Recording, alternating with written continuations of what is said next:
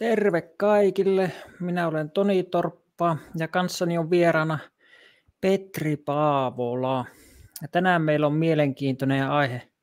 Puhutaan Suomen viidennestä presidentistä Risto Rytistä ja siitä, kuinka Risto Ryti oli vapaa muurari ja spiritualisti. Ja minä pidän tässä aluksi nyt esitelmän tästä Risto Rytistä tietynlaisesta näkökulmasta. Ja sitten minun esitelmän jälkeen Petri puhuu vapaamuurariudesta, oman näkökulmansa siihen. Ja sen jälkeen sitten katsotaan Petrin kanssa, mitä tuonne sättiin on tullut kysymyksiä ja kommentteja, niin me voidaan niitä kommentoida sitten. Laitetaanpa tuosta tuo vielä näkyviin. Noin. Okei, ja tuota, ennen kuin lähdetään käymään noita mun dioja läpi, niin mä haluan kertoa, että mihin nämä mun diat perustuu. Oon ottanut tämmöisestä kirjasta kuin Ryti, myrskyn ajan presidentti, joka on kirjoitettu 1985 ja kirjoittaja on Sakari Virkkunen. Niin tässä kerrotaan melko tarkasti näitä sodan ajan tapahtumia ja Ryti on keskiössä siinä, että miten ne tilanteet siellä meni. Ja sitten on tehnyt dioja Kerda, Kerdarydin, eli tämän Ristorydin vaimon elämänkerrasta. Tämä on paksu kirja. Ja tästä oli aika haastavaa saada näitä kohtia, kun tässä ei ole niin sisällysluettelua ollenkaan, että tämä vaan alkaa ilman mitään sillä mainintoja, että missä kohdassa on mitäkin. Mutta kyllä mä löysin sieltä erittäin mielenkiintoisia kohtia. Ja sitten on tämmöinen kirja kuin Ester Stolbergin Sodan ja rauhan vuodet päiväkirja. Ja tämä Ester on keskustellut tämän Rydin kanssa melko paljon ja ne on mielenkiintoisia kohtia, mitä hän tuo esille. Eli nämä mun kaikki diat perustuu niin tämmöisten niin sanottujen asiantuntijoiden näkemyksiin, että niissä ei ole yhtään minun omaa mutua mukana, kun mä tykkään aina niin viitata mieluummin johonkin asiantuntijan kuin omaan mutuun näissä asioissa. Ja kristillisestä näkökulmastahan tämä aihe niin vapaa muurarius ja spiritualisti niin saa heti jo semmoisen negatiivisen niin kuin, mm, näkökulman sillä, että ne on pahoja asioita kristinuskon valossa. Ja me nyt sitten tietenkin katsotaan ja, ja pohditaan sitä, että miksi ne on pahoja asioita kristinuskon valossa. Mutta maallisesta näkökulmastahan monetkaan ei pidä niitä millään tavalla pahoina asioina. Ja sitten se pitää tuoda tästä Risto Rytistä ihan tähän alkuun esille, että todennäköisesti Risto Rytistä kumminkin tuli kristitty ja Jeesukseen uskova vankilassa ollessaan. Ja sen niminen kristitty jo edesmennyt mies, saarnamies kuin Jukka Rokka on kertonut, että hän oli saanut kirjeen, jossa oli niin lukenut, että minäkin olen löytänyt täällä vankilassa Kristuksen, terveisin Risto, niin kuin Risto Rytiltä, semmoinen kirje. Ja sitten tämmöisessä kirjassa kuin Myrskyä ja mystiikkaa, jonka on kirjoittanut Villa Jaro, Jalovaara, Suomen tasavallan presidentti ja kirkko, niin tässä Rytin vaimo kertoi vuonna 1976 radiohaastattelussa, että Risto luki elämänsä loppuvaiheessa raamattua niin tämä hänen vaimonsa radiohaastattelun todistus ja sitten se, mitä Jukka Rokka kertoi, niin vahvasti puoltaa sitä, että Risto olisi tullut myös usko. Ja kiitos Herralle siitä. Se on mahtava asia, jos Risto on löytänyt Kristuksen elämänsä loppuvaiheessa, sillä hän on sitä kautta pelastunut mies sitten. Mutta nyt me käsitellään sitä, että minkälaista se Risto Rytin politiikka oli silloin sodan aikoina ja mikä johti siihen hänen politiikkaansa. Eli minkälaisen elämän filosofian ja maailmankatsomuksen päälle hän rakensi sen politiikkansa ja miten se niin johdonmukaisesti se politiikka sitten seurasi siitä hänen maailman katsomuksestaan. Mutta nyt lähdetään käymään tätä esitelmää läpi. Ja tässä mä niin viittaan tähän myrskyajan presidenttikirjaan. Ja tässä todettiin, että näyttää siltä kuin Risto Rytillä olisi ollut jonkinlainen sisäinen varmuus siitä, että hänestä tulee kallion seuraaja – Suuren elämäntehtävän kuvitelma sai vahvistusta siitä hänen puolisonsa vakaasta uskosta, että Risto Ryti oli tähän tehtävään kutsuttu, kuten pääministerin sihteerinä toiminut L.A. Puntila toteaa. Rouva Ryti totesi miehelleen Kallion ilmoitettua luopuvansa presidentin tehtävästä. Luulen, että tulemme kokemaan suuria vaikeuksia – me molemmat, mutta henkimaailma on meitä auttava ja erikoisesti sinua. Risto Ryti vastasi, sitä tullaan tarvitsemaan. Tiedän vain, että Suomi ei tule häviämään. Ja mä nyt haluan korostaa sitä, että kannattaa nyt tässä painaa mieleen se, että minkälainen usko tällä Risto Rytillä on tässä niin sodan aikana. Tästäkin me jo nähdään, että hänellä on vahva usko siihen, että Suomi ei tule häviämään. Hän on jostakin saanut siihen todella vahvan näkemyksen ja uskon. Ja minun mielestä se, mikä tässä kirjassa tulee, tässä Myrskynään presidenttikirjassa koko ajan esille, on se, että sillä Rytillä on koko ajan se sama vahva usko Suomen niin pärjäämiseen. Sitten tuntuu jotenkin kohtalonomaiselta, että presidentin vaali suoritettiin joulukuun 19. eli samana päivänä, jolloin Saksan hyökkäyksen Neuvostoliittoon sinetöivä Barbarossa-suunnitelma allekirjoitettiin Hitlerin päämajassa. Ja sitten semmoinen kokoomuslainen lehtimies kuin Rantakari, niin silloin kun Suomessa oli ne presidentin vaalit, missä Risto Ryti sitten valittiin presidentiksi ennen jatkosodan alkua talvisodan jälkeen, kun Rytihän toimi talvisodan aikaa Suomen pääministerinä ja sitten jatkosodan aikaa Suomen presidenttinä, niin silloin presidentinvaalien aikaan, kun Ryti valittiin, niin tämmöinen kokoomuslainen lehtimies Rantakari lähetti Paasikiville kirjeen, kun Paasikivi oli silloin Moskovassa Suomen lähettiläänä. Ja hän totesi tästä Rytin valinnasta näin, että muuten eivät edes Rytin varsinaiset valitsijat ole tyytyväisiä tulokseen. Katsotaan asian joutuneen erään kamarillan käsiin, jonka jäseniä en halua tässä mainita. No, tuosta ei tämä kirja tarkemmin kerro, että mitä tällä kamarillalla niin viitattiin, mutta sehän tarkoittaa semmoista salaista ryhmää tuo kamarilla, että viitataanko siinä kenties sitten johonkin vapaamuurariin järjestöön, niin sitä on hankala sanoa, mutta voi mahdollisesti olla.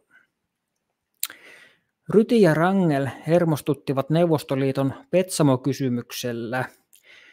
Petsamo oli Saksalle tärkeä ja voidaan ajatella, että jos Petsamo ei enää olisi ollut Suomea, Saksa ei olisi tuntenut suurtakaan mielenkiintoa maahamme.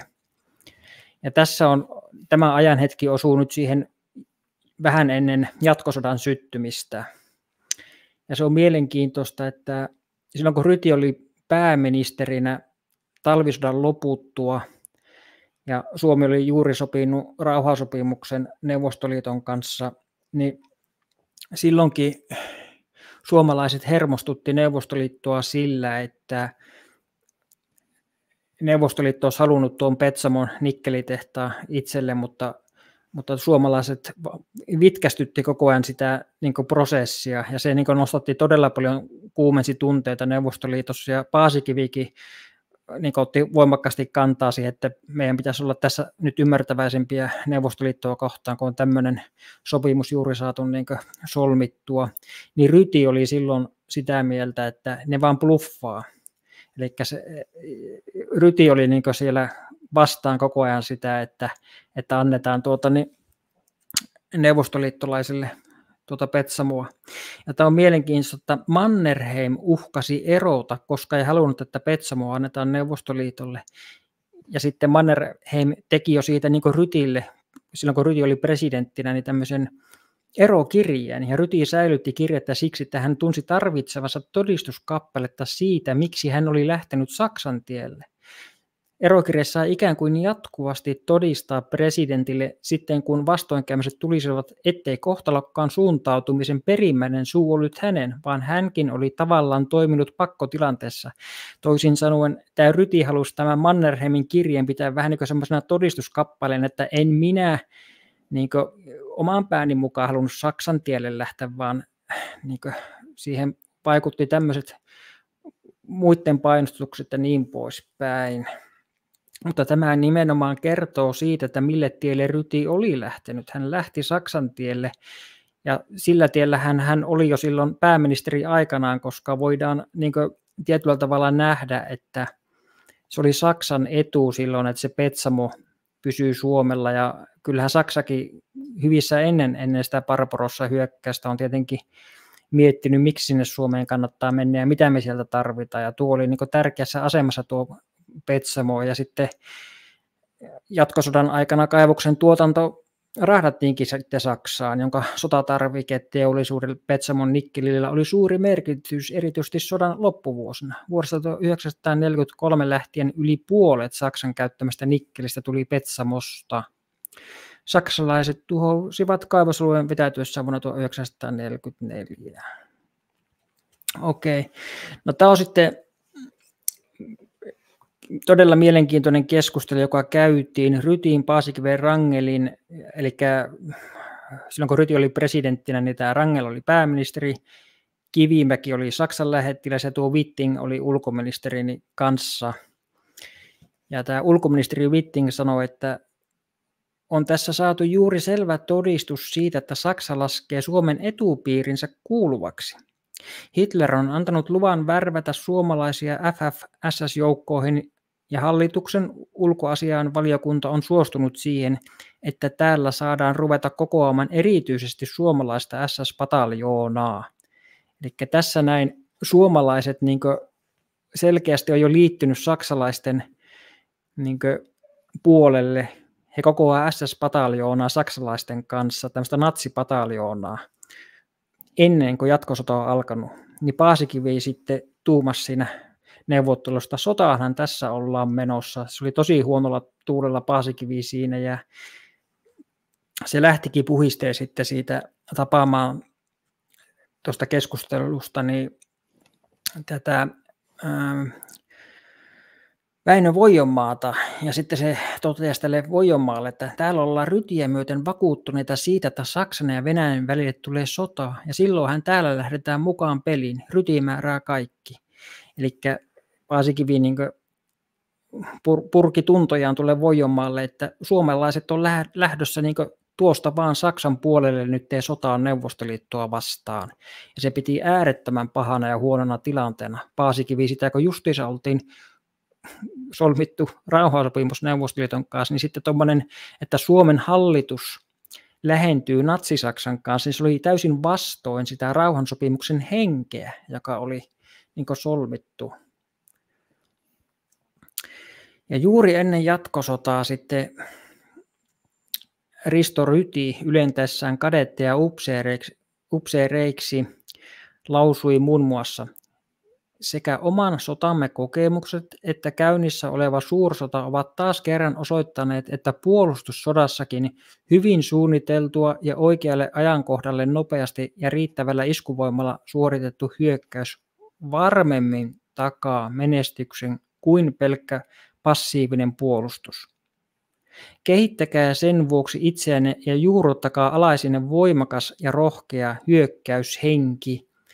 Eli mä otin tämän siksi tähän näin, että Rytillä oli todellakin tämmöinen niin kuin, tietynlainen hyökkäysmentaliteetti päällä silloin ennen jatkosotaa. Ja hän niin kuin, halajas Neuvostoliitolta niin Suomelle alueita, semmoista suursuomea, ja hän oli varma, että Suomi tulee voittamaan, ja että Saksa tulee voittamaan, ja että Neuvostoliitto tulee häviämään. Nämä on nyt ne tärkeät ulottuvuudet, jotka mä haluan niin nostaa tässä esille, että mistä se ryti oli val- varma ja mihin se uskoi. Puntila oli sitten pääministeri sihteeri tuohon aikaan, niin Puntilan todistuksen mukaan Ryti piti selvänä, että Neuvostoliitto häviää sodan.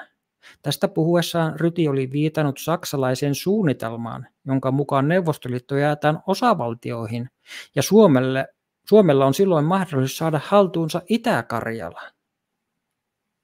Puntila kirjoitti ystävälleen 13.8.41 rajoista ei tietenkään voida julkisesti mitään puhua, mutta voin sanoa, että me voidaan huoletta jättää toiveemme Risto Rytin käsiin, sillä suursuomalaisempaa ajatustapaa emme edusta kuin hän. Eli Risto Ryti edusti semmoista suursuomi näkökulmaa silloin. Se tarkoittaa sitä, että meidän pitää saada Neuvostoliitolta takaisin ja ehkä enenevässä määrin, mitä talvisodassa menetettiin. Ja sitten akateemikko Eino Jutikkala. Itä-Karjalaa ei itse lähdettäisi valloittamaan, vaan se tulisi niin kuin kypsenä hedelmänä Saksan avulla. Tämä oli niin kuin se Rytinkin näkemys, että ei sinne niin kuin yksin lähetä, vaan Saksa tekee likaisen työ ja me, me poimitaan sitten niin kuin hedelmät siitä. Ryti antoi Puntilalle tehtäväksi tehdä tieteellinen julkaisu, jossa saksalaisille perusteltaisiin Suomen alueen laajentumista itään. Kirja nimeltä Suomen elintila ilmestyy Saksassa jo saman vuoden syksyllä. Eli tämä on niin tämmöinen elintila-ajatus. Hitlerilläkin oli se elintila-ajatus, jossa Saksa laajenee itään. Niin tuota, Suomella, Rytillä oli samanlainen näkökulma. Ja sitten Linnan keskustelujen jatkuessa niin kuin Ryti korosti myös Kuolan rannikon merkitystä Suomen kansantaloudelle. Tämä tapahtui juuri katu ennen jatkosodan alkua, niin, niin jopa Mannerheim kuunteli tätä niin korvapunaisena. Tämä sai Mannerheimin huomauttamaan. Yhtä vähän se kuin muukaan itä voisi pysyvästi kuulua Suomelle. Meidän naapurinamme idässä pysyisi aina venäläinen suurvalta, eikä se milloinkaan tyytyisi täten syntyneeseen tilanteeseen – mutta minkä takia menisimme sitten laisinkaan Itä-Karjalaan, kysyi Ryti terävästi. Tämä oli hyvä kysymys Rytiltä, koska tuo Mannerheim nyt ajatteli vaan, että eikö se ole kansamme tahto. Ja sitten Mannerheim totesi, että Ryti näyttää uskomaan, että voisimme pysyvästi säilyttää Itä-Karjalan. Eli Mannerheim ei uskonut, että tuota Itä-Karjalaa voidaan edes pysyvästi säilyttää, mutta kumminkin se niin oli mukana tuossa sotatoimissa, että se, sitä lähdetään niin valloittamaan. Semmoisessa nyt ei ole mitään järkeä semmoisessa ajattelussa. Mutta ei tuossa Rytinkaan ajattelussa mitään järkeä ollut, että siis Rytin näki, että Kuolan rannikkokin kuuluisi niin Suomelle. Sehän on siellä Venäjän pohjoispuolella sellainen todella iso alue, niin aivan uskomattomia niin haaveita oli näillä. Ja sitten tässä nyt ollaan jo menty sitten tässä kohtaa niin tämän jatkosodan sinne loppupuolelle. Puoli vuotta ennen kuin sitten rauha syntyi, niin Rytillä oli pitkä keskustelu Paasikiven kanssa. Minkälaisen yhteisymmärrykseen ei päästy. Rytin kanta oli edelleen, että Suomi on valmis neuvottelemaan Neuvostoliiton kanssa oikeudenmukaisella pohjalla – Paasikivi taas väitti, ettei meillä enää ole mahdollisuutta saada oikeudenmukaista rauhaa, kunhan saataisiin maa pelastetuksi edes Venäjän sanelemilla ehdoilla. Meidän on uhrattava, Paasikivi toisteli, jotta emme menettäisi ihan kaikkea. Ryti ei yhtynyt Paasikiven mielipiteeseen, vaan muistutti siitä, että Suomen armeija seisoo lyömättömänä vartiopaikallaan Itä-Karjalassa. Tämä on nyt mun mielestä tärkeä kohta tämä kertoo siitä, että Paasikivi ajoi koko ajan, niin kuin, että jo hyvissä ajoin, että Suomen pitää tehdä nyt Neuvostoliiton kanssa rauhansopimus. Että meillä on kohtuulliset ehdot Neuvostoliittoon tarjonnut, meidän pitää nyt tehdä se rauhansopimus, mutta se ei sopinut niin kuin esimerkiksi Rytille ja Tannerille. Ne koko ajan niin kuin, pitkitti sitä prosessia ja sillä lailla, että ei, ei, ei vielä, meidän pitää saada paremmat ehdot ja niin poispäin. Ja Paasikivi painotti, että ei vaan meidän on nyt uhrattava, meidän on uhrattava niin omastamme nyt, eli siitä, että meidän pitää antaa periksi ja hyväksyä semmoinen rauhanehto, missä Neuvostoliitto sanelee ne ehdot. Sitä Paasikivi tuossa sanoi. Ja sitten kun tätä Risto Rytiähän niin pidetään, että se on niin uhrannut itsensä. Ja sitten monet sanoo, esimerkiksi näistä Suomen presidentinvaaliehdokkaista neljä vastasi, kun heiltä kysyttiin, että mikä on teidän esikuvanne. presidenteistä, niin neljä sanoi, että Risto Ryti, ja perusteluna oli se, että Risto Ryti uhrasi itsensä. No, mutta mikä se Risto Rytin uhraus sitten oikein oli? No, se oli se, että Ryti teki tässä ihan sodan loppuvaiheessa semmoisen Ribbentrop-sopimuksen, joka tarkoittaa sitä, että se antoi Hitlerille kirjallisen lupauksen siitä, että Suomi ei tule tekemään Neuvostoliiton kanssa minkäänlaista rauhaa muuta kuin Saksan hyväksymänä. Mutta se oli Rytin yksittäinen sopimus, johon, jossa ei ollut eduskunnan hyväksyntä, niin siksi siitä pystyi irtautumaan sitä kautta sitä sopimuksesta, että Ryti niin lopet, otti lopputilin presidentin virasta niin sillä Suomi pääsi irtautumaan sitten siitä, ja sitten Mannerheimista tuli presidentti, ja sitten Mannerheimin kautta saatiin tehtyä sitten rauhan Neuvostoliiton kanssa.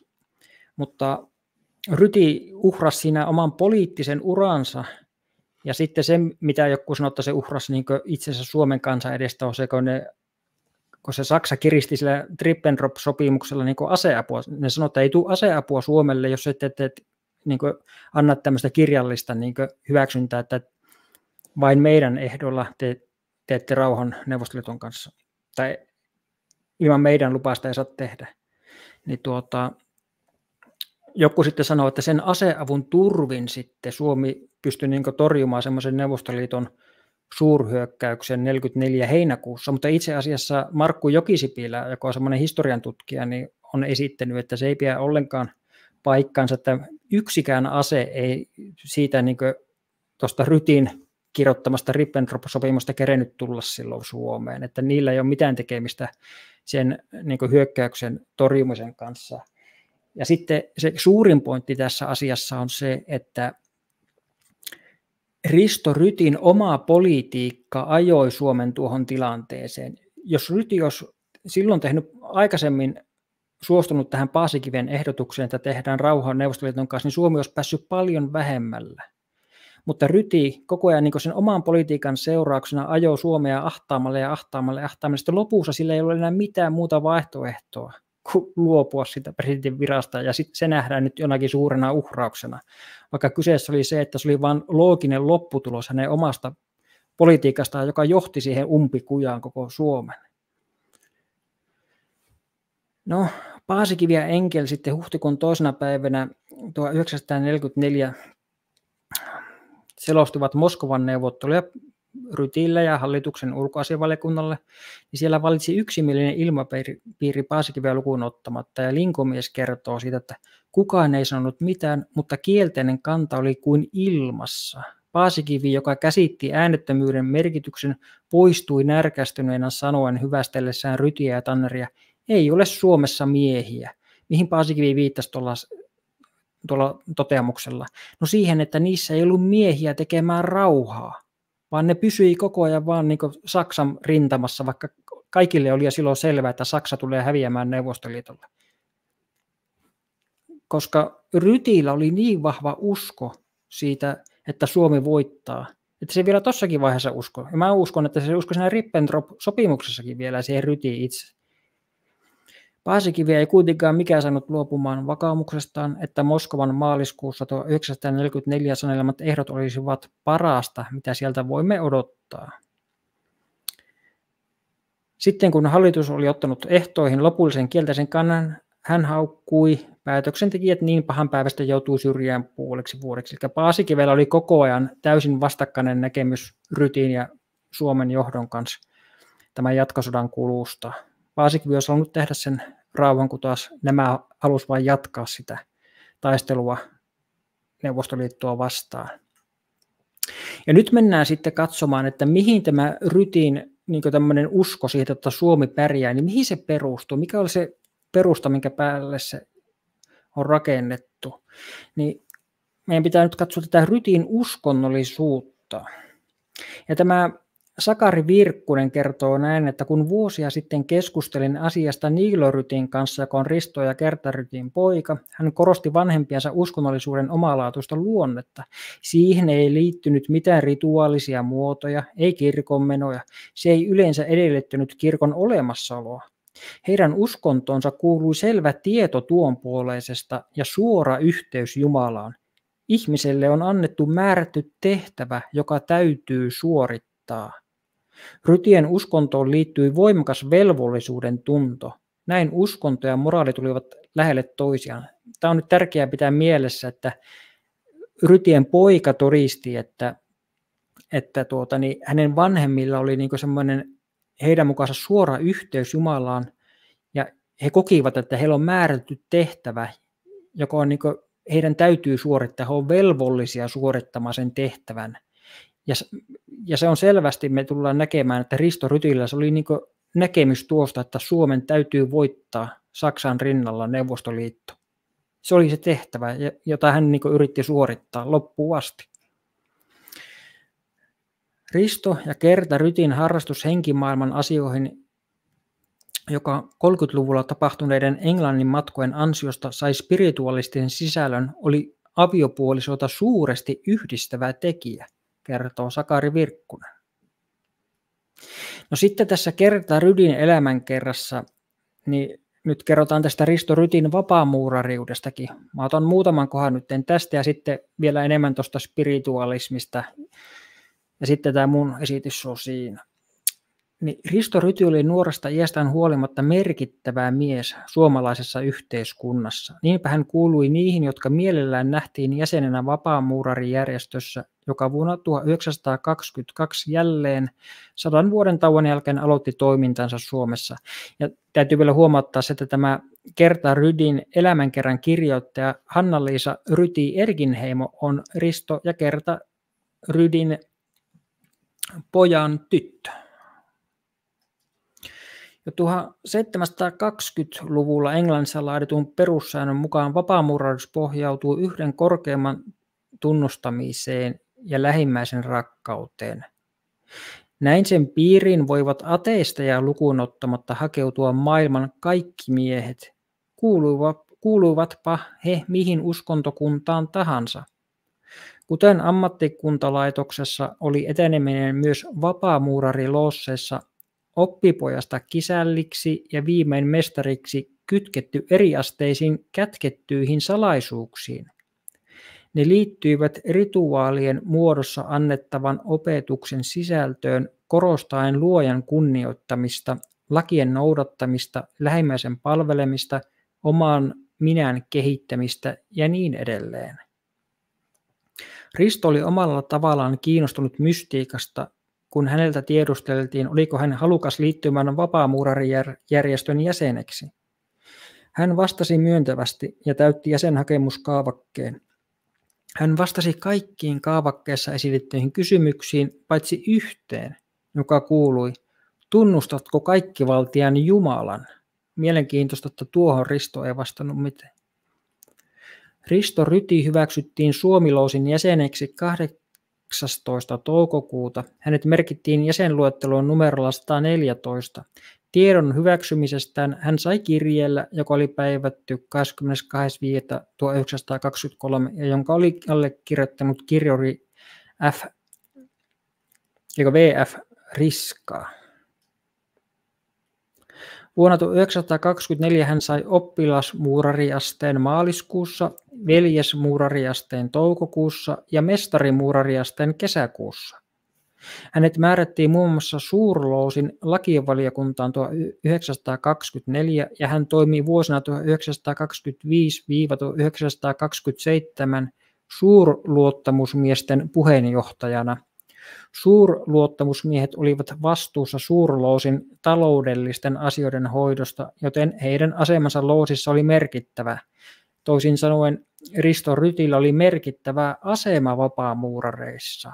Ja sitten täs, tämä dia korostaa sitä, että hänellä oli merkittävä asema myös sen aikaisessa tämmöisessä eliitin eliittipiireissä ja tämmöisissä pankkiiripiireissä, joita me tiedetään, että siellä liikkuu paljon vapaamuurareita.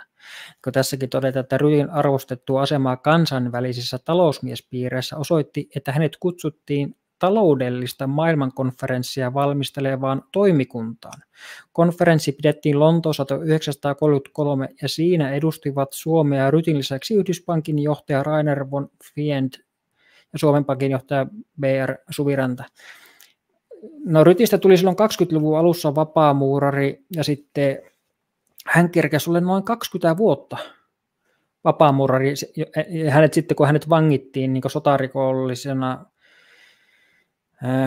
jatkosodan jälkeen, kun nämä Neuvostoliitto ja sitten länsiliittoutuneet niin painosti, että nämä tietyt sota, syylliset siihen, että miksi Suomi ajatuu Neuvostoliittoa vastaan sotaa, että heidät pitää tuomita. Ja Risto Ryti oli niin kuin, ja Tanner oli niin ne päätuomitut siinä, siinä tuota, niin, sotarikosoikeudenkäynnissä. Niin silloin vapaamuurarit sitten erotti Rytin jäsenyydestään. No se pitää vielä sanoa tästä vapaamuurarista, että siitä rytin vapaamuurari, ru, vapaamuurariudesta ei voida vapaamuurarin tämän sen järjestön luonteen vuoksi tietää oikeastaan enempää, koska se on salaseura. Niin on selvää, että salaseuran tämmöiset asiat on salaisia, emme tiedä niistä muuta kuin tämmöistä tietoa, että milloin hän on liittynyt ja onko hän kuulunut sinne. Ne on faktatietoa. No katsotaan sitten tätä Rytin spiritualismia vielä. Kun rytit kahdeksan aikaan illalla vuonna 1933 saapuivat Kahmolle, odotti heitä siellä yllätys. Kahma, tuo ikuinen kokeilijas oli joku rytien kaveri, oli kutsunut luokseen myös herra Talanderin, joka oli perehtynyt spiritismiin. Spiritismi oli hyvin pitkään ollut varsin muodikasta Englannissa ja levinnyt sieltä muun muassa Saksaan ja Pohjoismaihin. Spiritismin avulla uskottiin voitavan saada vainajien henkiin sellainen yhteys, että heiltä voitiin saada ja heille saatettiin toimittaa sanomia. Kahma oli innossaan ja järjesti tuona iltana herra Talanderin johdolla yksityisen istunnon, joka kesti kahdeksasta yhteentoista. Kerda oli alustavasti perehtynyt spiritismiin jo edellisenä vuonna hankkiessaan Kahman suosituksesta englannista kirjan The Blue Island – jossa käsiteltiin uudesta, tule, uudesta tulemisesta tuonpuoleisesta elämässä. Spiri, spiritualistisen näkemyksen mukaan kaiken yläpuolella on Jumala, jota voidaan luonnehtia sanalla valo, voima ja rakkaus.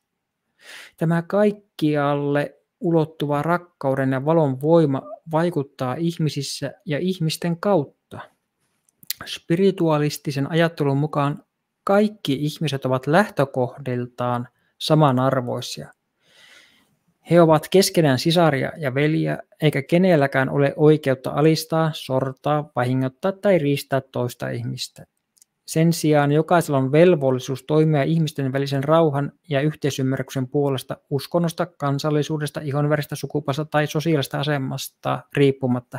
Tähän kuulostaa nyt pintapuolisesti erittäin hyvältä ja varmasti uppoaa tapakristittyyn kuin häkää. Niin kuin, että eihän tässä ole mitään, mitäs väärää tämmöisessä on. Siis mä nyt tarkoitan tuota, miten he arvostaa kaikkia ihmisiä ja niin poispäin. No mutta se onkin, pointti onkin siinä, että tämmöisen valheen henget niin pukee tämmöisen ulkokultaisuuteen sen niiden sanoman, mutta sitten siihen kätkeytyy semmoinen suuri eksytys ja niin rotaan myrkky, joka sitten vie ihmisen pahasti harhaan, ja se tullaan näkemään. Ja sitten tämä on mielenkiintoista, että kun tässä todetaan, että kaikki ihmiset ovat lähtökohdiltaan samanarvoisia, he ovat keskenään sisaria vielä kenellä ole oikeutta alistaa tai sortaa, niin Ryti itse kannatti kuitenkin eugeniikkaa Eli keväällä 1943 toimiessaan presidenttinä Ryti totesi, keskustellaan Väestöliiton edustajien kanssa, että väestön lisäämisen ohella liiton tulisi kiinnittää huomiota myös sen laadun parantamiseen. Hän piti perusteltuna estää fyysisesti ja psyykkisesti ala-arvoisten ihmisten lisääntyminen steriloimalla heidät. Eli hänellä oli tämä natsien näkemys justiinsa tästä. Natseilla oli tämä eukoniikka kanssa, että pitää niin muokata kansaa niin tällai geneettisesti ja estää tämmöisten huonojen yksilöiden lisääntyminen. Niin tämä on niin täysin vastoin tuota, mitä tuossa edellisessä diassa todettiin niin sitä hengestä, missä valossa pitäisi toimia niin lähimmäisiä kohtaan. Mutta se on just näiden valhehenkien tapa, että ne antaa ulkokultaisen niin tämmöisen että mitä, mitä, miten tulisi toimia, mutta sitten ne kumminkin vaikuttaa hyvin päinvastaisia toimia ihmisissä. No niin, Jaakko Kahma, Kahman Kerdassa jo aiemmin herättämä mielenkiinto parapsykologian oli entisestään voimistunut, kun Kahma joulun ja uuden vuoden välillä tuo 1933 oli tuonut silmänäkijä Aino Kassisäärytylle kylään. Mä tuon siksi näitä, nyt näitä tästä kerran kirjasta näitä dioja, koska tätä tietoa ei ole muuhalla juurikaan esillä. Mä väitän, että tästä ei löydy juuri paljon mistään muusta kuin näistä parista kirjasta, jotka mulla tässä on.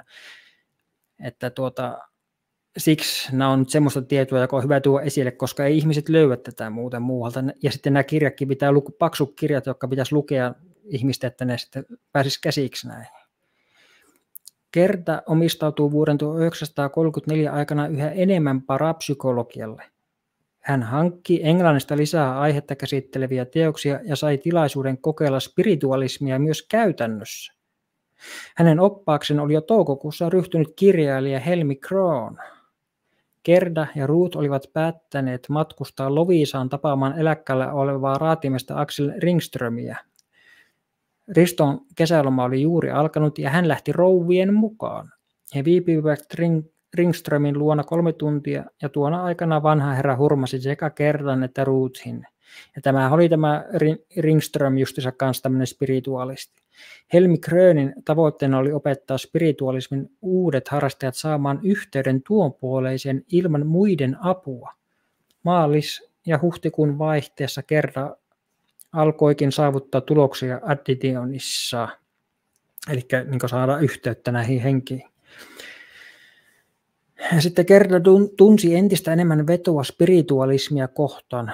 Vuoden 1935 puolivälissä hän jatkoi Findlayn opiskelua nyt perehtymällä teoksen The Unfolding Universe.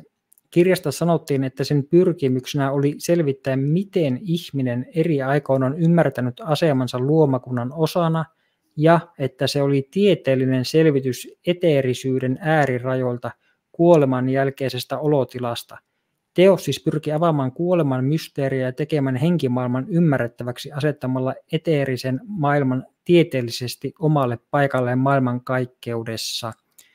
Näin tehdessään se raivasi tietä kokonaan uudenlaiselle ajattelulle osoittain, miten nämä tosiasiat hyväksymällä oli mahdollista yhdistää uskonto ja tiede, lopettaa sodankäynti ja saattaa koko ihmiskunta toinen toistensa yhteyteen keskinäisessä veljeydessä – Tämä on tärkeä tämä viimeinen lause tässä, että spiritualismikin pyrkii ajamaan ihmiskuntaa yhteyteen keskinäisessä veljeydessä, samoin kuin vapaamuurarit. Niillä on kummallakin samantyyppinen tavoite, mutta se on niin raamatun valossa todella harhaanjohtava ja eksyttävää, ja siinä itse asiassa kuljetaan niin saatanan tahtoa silloin toteutua, toteuttaen niin tämmöiseen niin epäjumalan palvelukseen, ja Ristokin joutui rouvien harrastuksen vuoksi muutamaan otteeseen paneutumaan asiaan. Paitsi vierailija Ringströmin luona kesällä 1935 ja toisen kerran kesällä 1936. Risto sai tehtäväkseen Lontoon matkoillaan hankkia parapsykologista kirjallisuutta ja jopa käydä medion luona. Lontoon matkalla Risto tapasi medion nimeltä MRS Caloud. Risto raportoi Kerdalle, että media oli alkukangertelun jälkeen puhunut ihan viisaasti ja selvästi. Hän ei kuitenkaan ollut käyttänyt puheessaan mitään nimiä tai ajanmäärityksiä, paitsi kerran sanoessa, että hänen kuidensa, eli tämä henkioppaansa, oli intiani tai intianiryhmä ja nimeltään Power. Kerda oli alkuvuodesta 1938 edistynyt spiritualismissa pitkän askeleen Tiistaina huhtikuun 19. päivänä hän oli ensimmäisen kerran kuullut kuidensa eli henki, henkioppaansa puhuvan. Kerta oppi pian, että ääni yritti jotenkin kouluttaa häntä. Ääni saattoi sanoa kaupungilla, että tuli mennä sen ja sen kaupan ovesta sisään ja niin edelleen. Kerda oli hyvä oppilas. Hän ymmärsi hyvin nopeasti, että hänen piti ehdottomasti totella äänen hyvän henkensä antamia käskyjä ja ohjeita. Palkkioksi hän sai neuvoja yhtä lailla arkipäivän käytännön kysymyksissä kuin henkisyyden opintiellä kilvoitellessaan. Kesti kuitenkin kauan ennen kuin kerran ja hänen kuidensa suhde saavutti päivittäisen yhteydenpidon. Mutta tärkeää tässä on just huomata tuo, että tämä kerta Ryti ymmärsi, että hänen pitää ehdottomasti totella tämän henkioppaan, eli henkiolennon, sen äänen, hänelle antamia käskyjä. No raamatun valossahan me tiedetään, että kyseessä on demonihenget, riivaajahenget, valhehenget. Aatelkaapa nyt, Suomen viidennen presidentin vaimo niin kuunteli, oppi, että hänen pitää kuunnella, ehdottomasti totella demonihenkiä ääntä. No sitten tämä Esther Stolberg tässä päiväkirjassaan kertoo erittäin niin tärkeitä asioita, asioita nyt liittyen tähän. Hän kertoo, että keskustelu siirtyy pian kerdalle tärkeimpiin aiheisiin. Hän keskusteli niin tämän Rutin vaimon kanssa elämän keskeisiin kysymyksiin, jotka olivat hänelle kaiken perustana. Hän nimittää elämän katsomustaan spiritualismiksi, eli kerta nimittää, jota hän on opiskellut englantilaisesta kirjallisuudesta ja sitten harjoittanut jokapäiväisessä elämässä. Kun kysyin, jakaako hänen puolisonsa, eli Risto, tämän hänen elämän filosofiansa, hän vastasi myöntävästi, mutta tällä ei ole ollut aikaa hakeutua siinä niin syvälle kuin hän itse. Sama pohja heillä kuitenkin on. Eli tässä Risto Rytin vaimo todistaa, että hänen mieskin oli niin kuin elämänkatsomukseltaan, maailmankatsomukseltaan spiritualisti. Tämä on tosi vahva todistus, kun tämä tulee hänen vaimoltaan. No sitten tämä Ester kysyy, että mikä tämä pohja sitten on? No se kerta vastaa. Olennaisinta siinä on, että näkyvä ja näkymätön maailma ovat jatkuvasti yhteydessä toisiinsa. Kuolleet eivät ole kuolleita, he elävät. Kaikki muodostavat yhden suuren kokonaisuuden. Mikään ei katoa. Materia on yksi voima, mutta henki on kaikki, kaikkein tärkein. On saatava yhteys maailman henkeen, taivaalliseen isään, maailmankaikkeuden keskukseen, alkuvoimaan. Se on kaiken elämän, energian ja voiman lähde. Se on Jumala. Hänestä stelee kaikki. Joku saattaa äkkiseltään luulla, että tässähän viitataan ihan niin kuin raamatun Jumalaa, mutta ei todellakaan, ei ole kyseessä raamatun Jumala, vaikka puhutaan taivaallista isästäkin. Sekin on pienellä tuossa tuo isä, vaan tämä on niin tuommoinen joku maailman alkuvoima, maailman henki. Todellisuudessahan se on niin tämmöinen saatanallinen henkivalta, joka siellä on niin raamatun valossa. Mutta nämä spiritualistitkaan ei usko, että kyseessä olisi mikään raamatun Jumala, vaan he, he pitää sitä tuommoisena alkuvoimana, ainakin maailmanhenkenä, ei raamatun Jumalana. Mutta siis kyseessä on tode, raamatun valossa riiva ja henki, demoni, johon Risto Rytikin perusti maailmankatsomuksensa. No sitten kerta toteaa, että Jumala lähettää ihmiselle suojelijan, yhden niistä, jotka ovat saavuttaneet hengenmaailmassa korkeimman kehitystason, geniuksen, suojelusenkelin, yhdellä sanalla ilmaistuna. Sellainen on kaikilla ihmisillä, vaikkakaan kaikki eivät tiedä sitä, eivät usko eivätkä kuuntele sitä. Tätä henkeä voidaan myös kutsua omaksi tunnoksi, mutta se on enemmän. Se hallitsee kaikkia asioita, ei ainoastaan moraalisia, vaan myös jokapäiväisen elämän tapahtumia.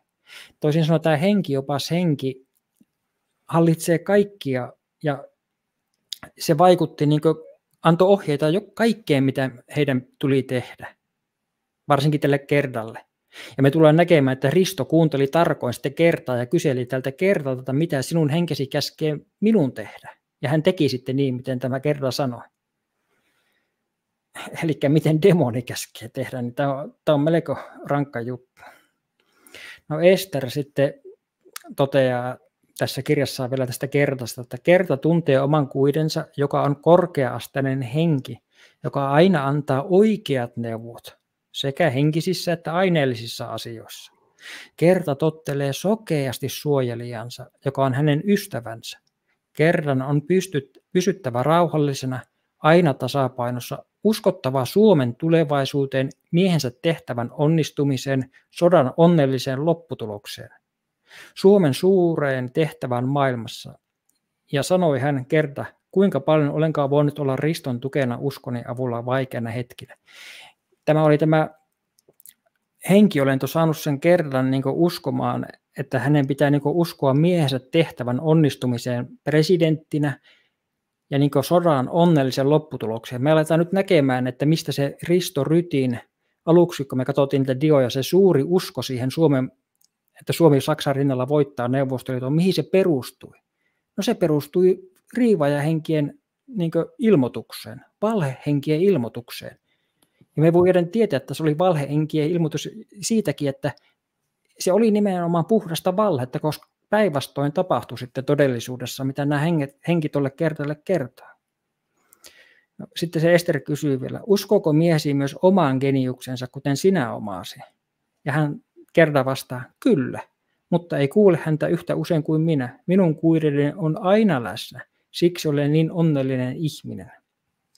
No Ester kysyy vielä, mitä ajattelet nykyisestä sodastamme, eli jatkosodasta? Siihen kerta vastaa, se on Jumalan sallimus. Ajattele, miten hyvin se on mennyt. Me tulemme voittamaan ja saamaan takaisin entisen alueemme ja myös paremmat rajat. Meillä tulee olemaan voimakas ja suojattu tulevaisuus. Eli se henkiolento oli sanonut Rytin vaimolle, että Suomi tulee voittamaan ja saamaan takaisin entiset alueet, eli ne mitä talvisodassa menetettiin, ja, ja sitäkin paremmat rajat. No, juuri tämähän oli se Risto Rytin politiikka ennen jatkosotaa, mitä Mannerheim, Mannerheim niin korvat punaisena kuunteli siellä. Ja siksi Risto Ryti piti loppuun asti kiinni tästä näkemyksestä, koska se luuli, että se tulee tapahtuu niin kuin se on tullut tuolta henkiolennolta se näkemys. Mutta toisin kävi. Suomi ei tullut voittamaan. Suomi ei saanut talvisodan rajoja takaisin, vaan Suomi menetti enemmän jatkosodassa alueita Neuvostoliitolle. Eli kävi täysin päinvastoin, mitä tuo henkiopas kertoi kertalle. Siksi, koska kyseessä oli valheen henki, riivaaja. No Ester sitten kysyy vielä, ja miten luulet aseveljeyden natsien kanssa vaikuttavan tulevaisuudessa? Mitä vaikutuksia tulee myöhemmin? Siihen kerta vasta. Ystäväni, eli se henki, ei salli minun kysellä mitään siitä. En saa olla utelias. Minun on vain luotettava siksi uskon, että kaikki kehittyy hyvin, muuta en voi sanoa. Ja sitten Ester kysyy, ja miten uskot Saksan sodan menevän? Ja siihen kerta vasta. Hitler seuraa maailman historiallista tehtävänsä – hänen geniuksensa ohjaa häntä ja hän itse uskoo siihen. Hän on Jumalan vitsa, jonka on lyötävä maahan se, mikä on pahinta Euroopassa. Eli tämä Gerda sanoo, että Hitlerilläkin on tämmöinen henki, jopa jota Hitler kuuntelee. Ja tässähän tulee niin ilmi se, että tämä Gerda pitää Hitleriä niin tietyllä tavalla hyvänä tyyppinä. Hän on Jumalan vitsa, jonka on lyötävä se, mikä on pahaa Euroopassa maahan, eli Neuvostoliitto, Bolshevikit. Niin No sitten kesäkuuna, tuota, niin, eli vuosi tuosta eteenpäin, tämä Ester keskustelee uudestaan Kerran kanssa. Menimme Kerran kanssa minun huoneeni yläkertaan ja me jatkomme keskusteluamme siitä, mihin se oli jäänyt elokuussa 1941. Hän kertoi jo neljän vuoden ajan ollensa kuidensa johdatuksessa ja on elänyt syvässä rauhassa maan ja maailman rauhoittuvuuden keskellä. Hänelle on avautunut loistava taivas. Kun hän kuuntelee johdattajansa, hän tietää aina tekevänsä oikein. Meidän ei tarvitse huolehtia mistään. Kaikki johdatetaan, kaikki on edeltä käsin selvitetty. Ei pidä leimautua mihinkään suuntaukseen tai kirkkoon. Silloin näkemykset rajoittavat, kehitys pysähtyy. Eli tuossa hän sanoo epäsuorasti, että ei, niin ei pidä olla mikään kristitty, koska kristityt niin leimautuvat tuommoiseen kristilliseen suuntaukseen. Ja sitten tuo, että kun hän kuuntelee johtajansa, johdattajansa, hän tietää aina tekevänsä oikein. Eli kaikki ne ohjat, mitä sieltä tulee, on hänen mielestään oikein. No sitten nyt ollaan siinä kohdassa, kun Risto Ryti on jo niin menossa vankilaan, niin Ester keskustelee silloin vielä Kertan kanssa. Kun soitin Kertan, hän oli niin iloinen ja vapautunut, ja hän pyysikin minua käymään. Kerta toteaa, täällä on rauha, on rauha sisällä ja ulkona, olen siitä niin kiitollinen. Me olemme terveitä molemmat. Miehenikin pitää itsensä pystyssä. Hän, suurimpana sotarikollisena, joutuu asumaan yksin, kuten Tannerkin. Toinen vaarallinen mies, muista en tiedä. Ja sitten Ester toteaa siihen, että kerralla on edelleen voimakas luottamus johdattajansa, joka puhuu hänelle kaikesta, neuvoo häntä – hänet on lähetetty henkimaailmasta, mutta hänellä on kuitenkin hahmo ja ulkonäkö.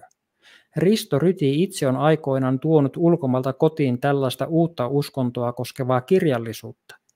Mutta hän on itse ollut niin paljon kiinni politiikassa ja realistisessa elämässä, ettei ole koskaan päässyt yhtä pitkälle kuin vaimonsa, jolla on jatkuva yhteys johdattajansa kuideensa. Mutta Ryti kysyy jatkuvasti Kerdalta, mitä tämän johdattaja on tiedottanut ja uskoo siihen, mitä saa tietää. Tässä tulee ilmi se, että Ryti toimi sen mukaan, mitä hänen vaimonsa henki kertoi.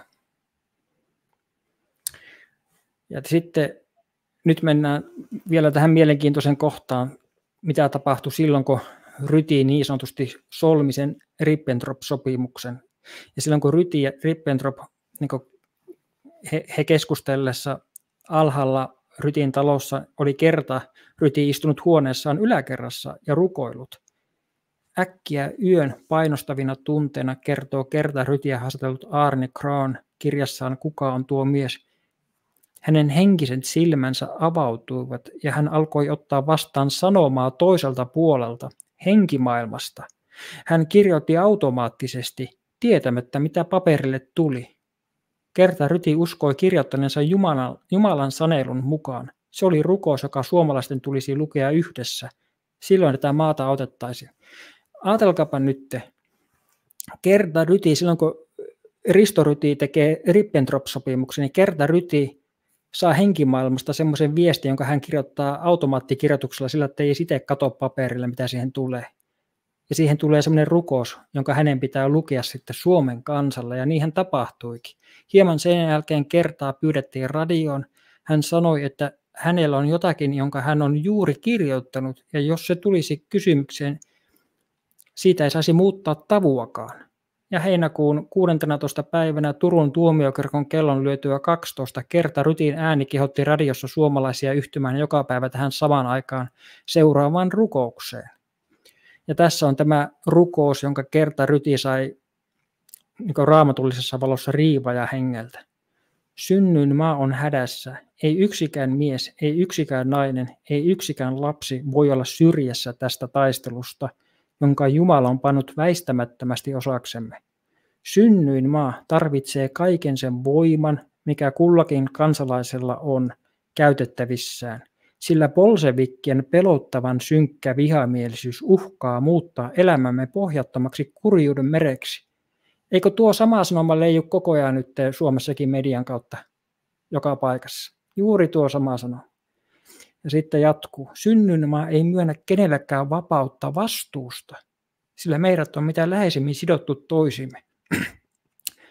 Eli kenelläkään ei ole nyt vapautta vastuusta taistella Suomen puolesta tuon valossa voi jokainen ymmärtää, että miksi Risto Ryti ei halunnut tehdä sitä rauhasopimusta, mihin Paasikin koko ajan painosti, että tehdään nyt hyvänä aika rauha Neuvostoliiton kanssa, kun vielä pystytään ja säilytetään Suomen itsenäisyys. Niin ei, kun se halusi taistella sen takia, että tämä henki halusi taistella. Siksi on meidän taisteltava, kun ei milloinkaan ennen, niin kuin ne, jotka Jumala on valinnut seisomaan oikeutemme puolesta – ja yhteisessä ylevässä tahdon ponnistuksessa ohjaamaan ihmiskuntaa lähemmäs Jumalaa.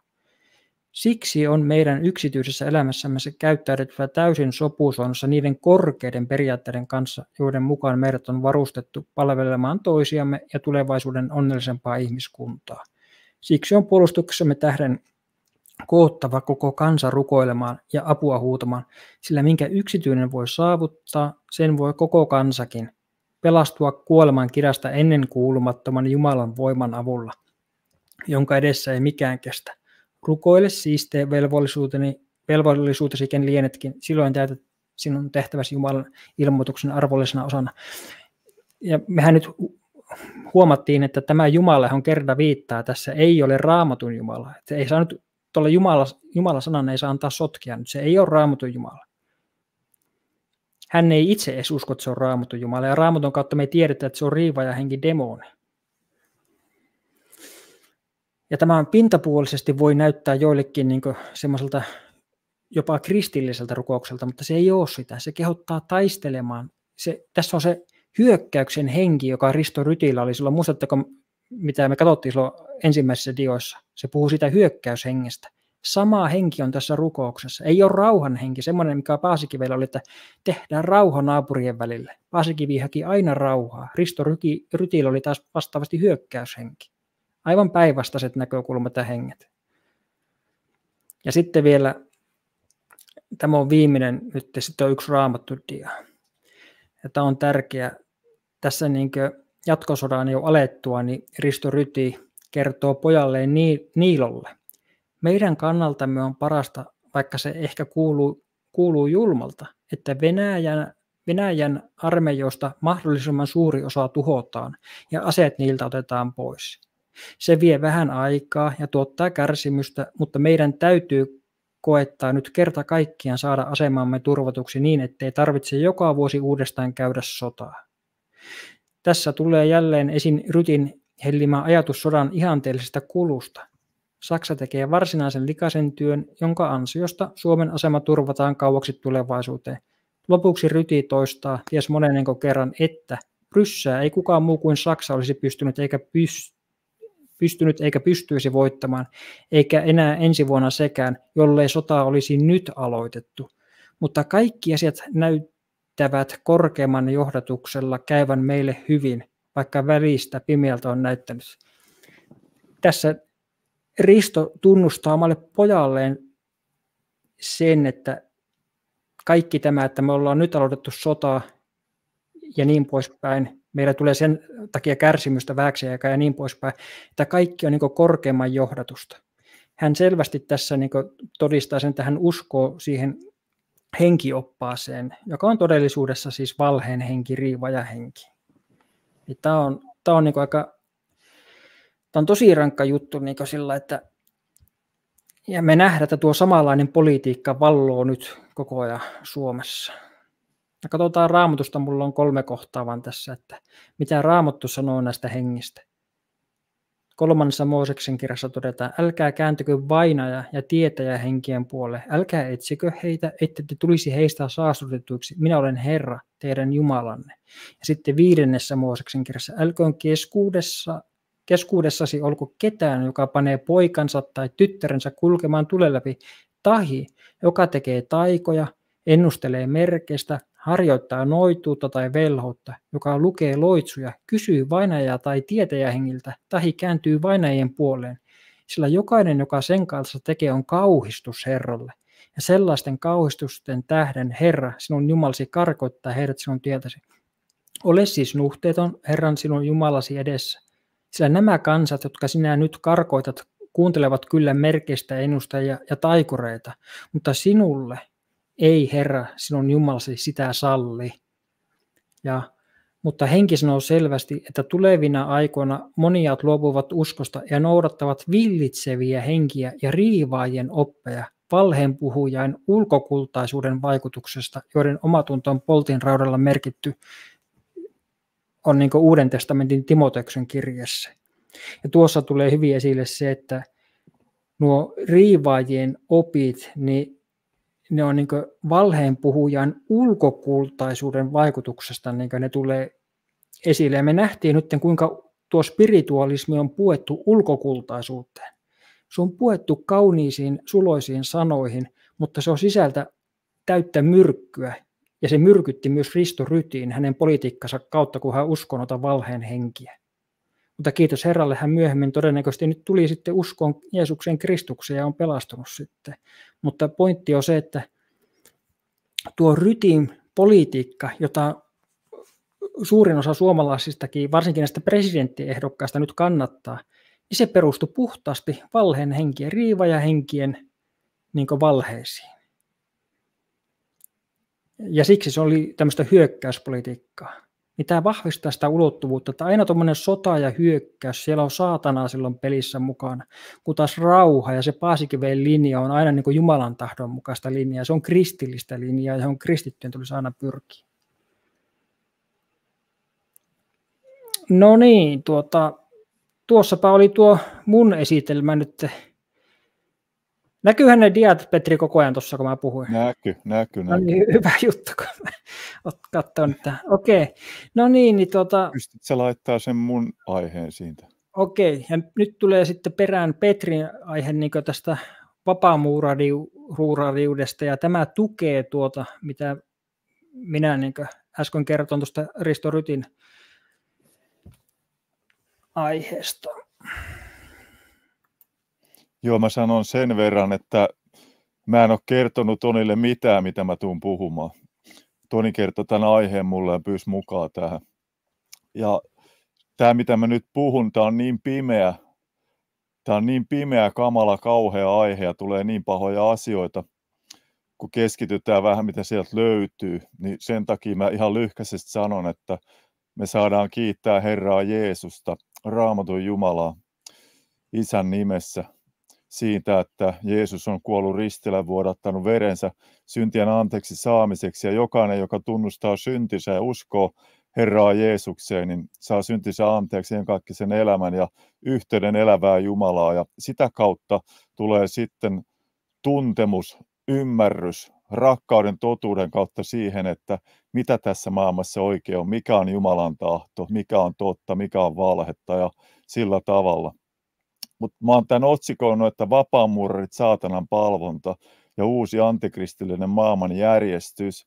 Ja mä yritän tämän, tässäkin mulla on aika paljon asiaa, mutta mä yritän, että sen taisi mahdollisimman lyhkäisesti tai nopeasti. Ei tätä kyllä ihan heti nopeasti saa, mutta käydään tätä läpi, mitä me löydetään tästä. Ja ennen kuin lähden tuomaan näitä asioita esille tässä, niin tästä vapaa-muuraruudesta, niin tämä nyt ei ole kaiken kattava asia, mutta tässä on aika paljon sellaisia vapaa-muurereita, jotka on historiassa kertonut vähän siitä, mitä siellä oikeasti niin kuin on, ja perustuu aika paljon siihen. Mutta tämmöinen ylimmän asteen 33 asteen vapaamuurari Albert Pike, hän sanoo kirjassaan Morals and Dogma, että vapaamuuraruus salaa mysteerinsä kaikilta paitsi mestareilta ja viisailta – ja käyttää vääriä symboleja johtaakseen harhaan kaikki ne, jotka ansaitsevat tulla harhaan johdetuiksi. Eli vapaamurrarit laittaa aika paljon väärää tietoa liikenteeseen itsestään monista asioista sitä varten, että ne pystyy sitten parhaalla mahdollisella tavalla heidän näkökulmastaan viemään sitä omaa agendaansa sitten ja tekemään sen maailman vallotuksen, mitä he yrittää, mikä kohta tulee sitten niin kuin esille. Mutta sitten kun me lähdetään tutkimaan tätä, niin vapaa muuraruudessa on seitsemän sakraa.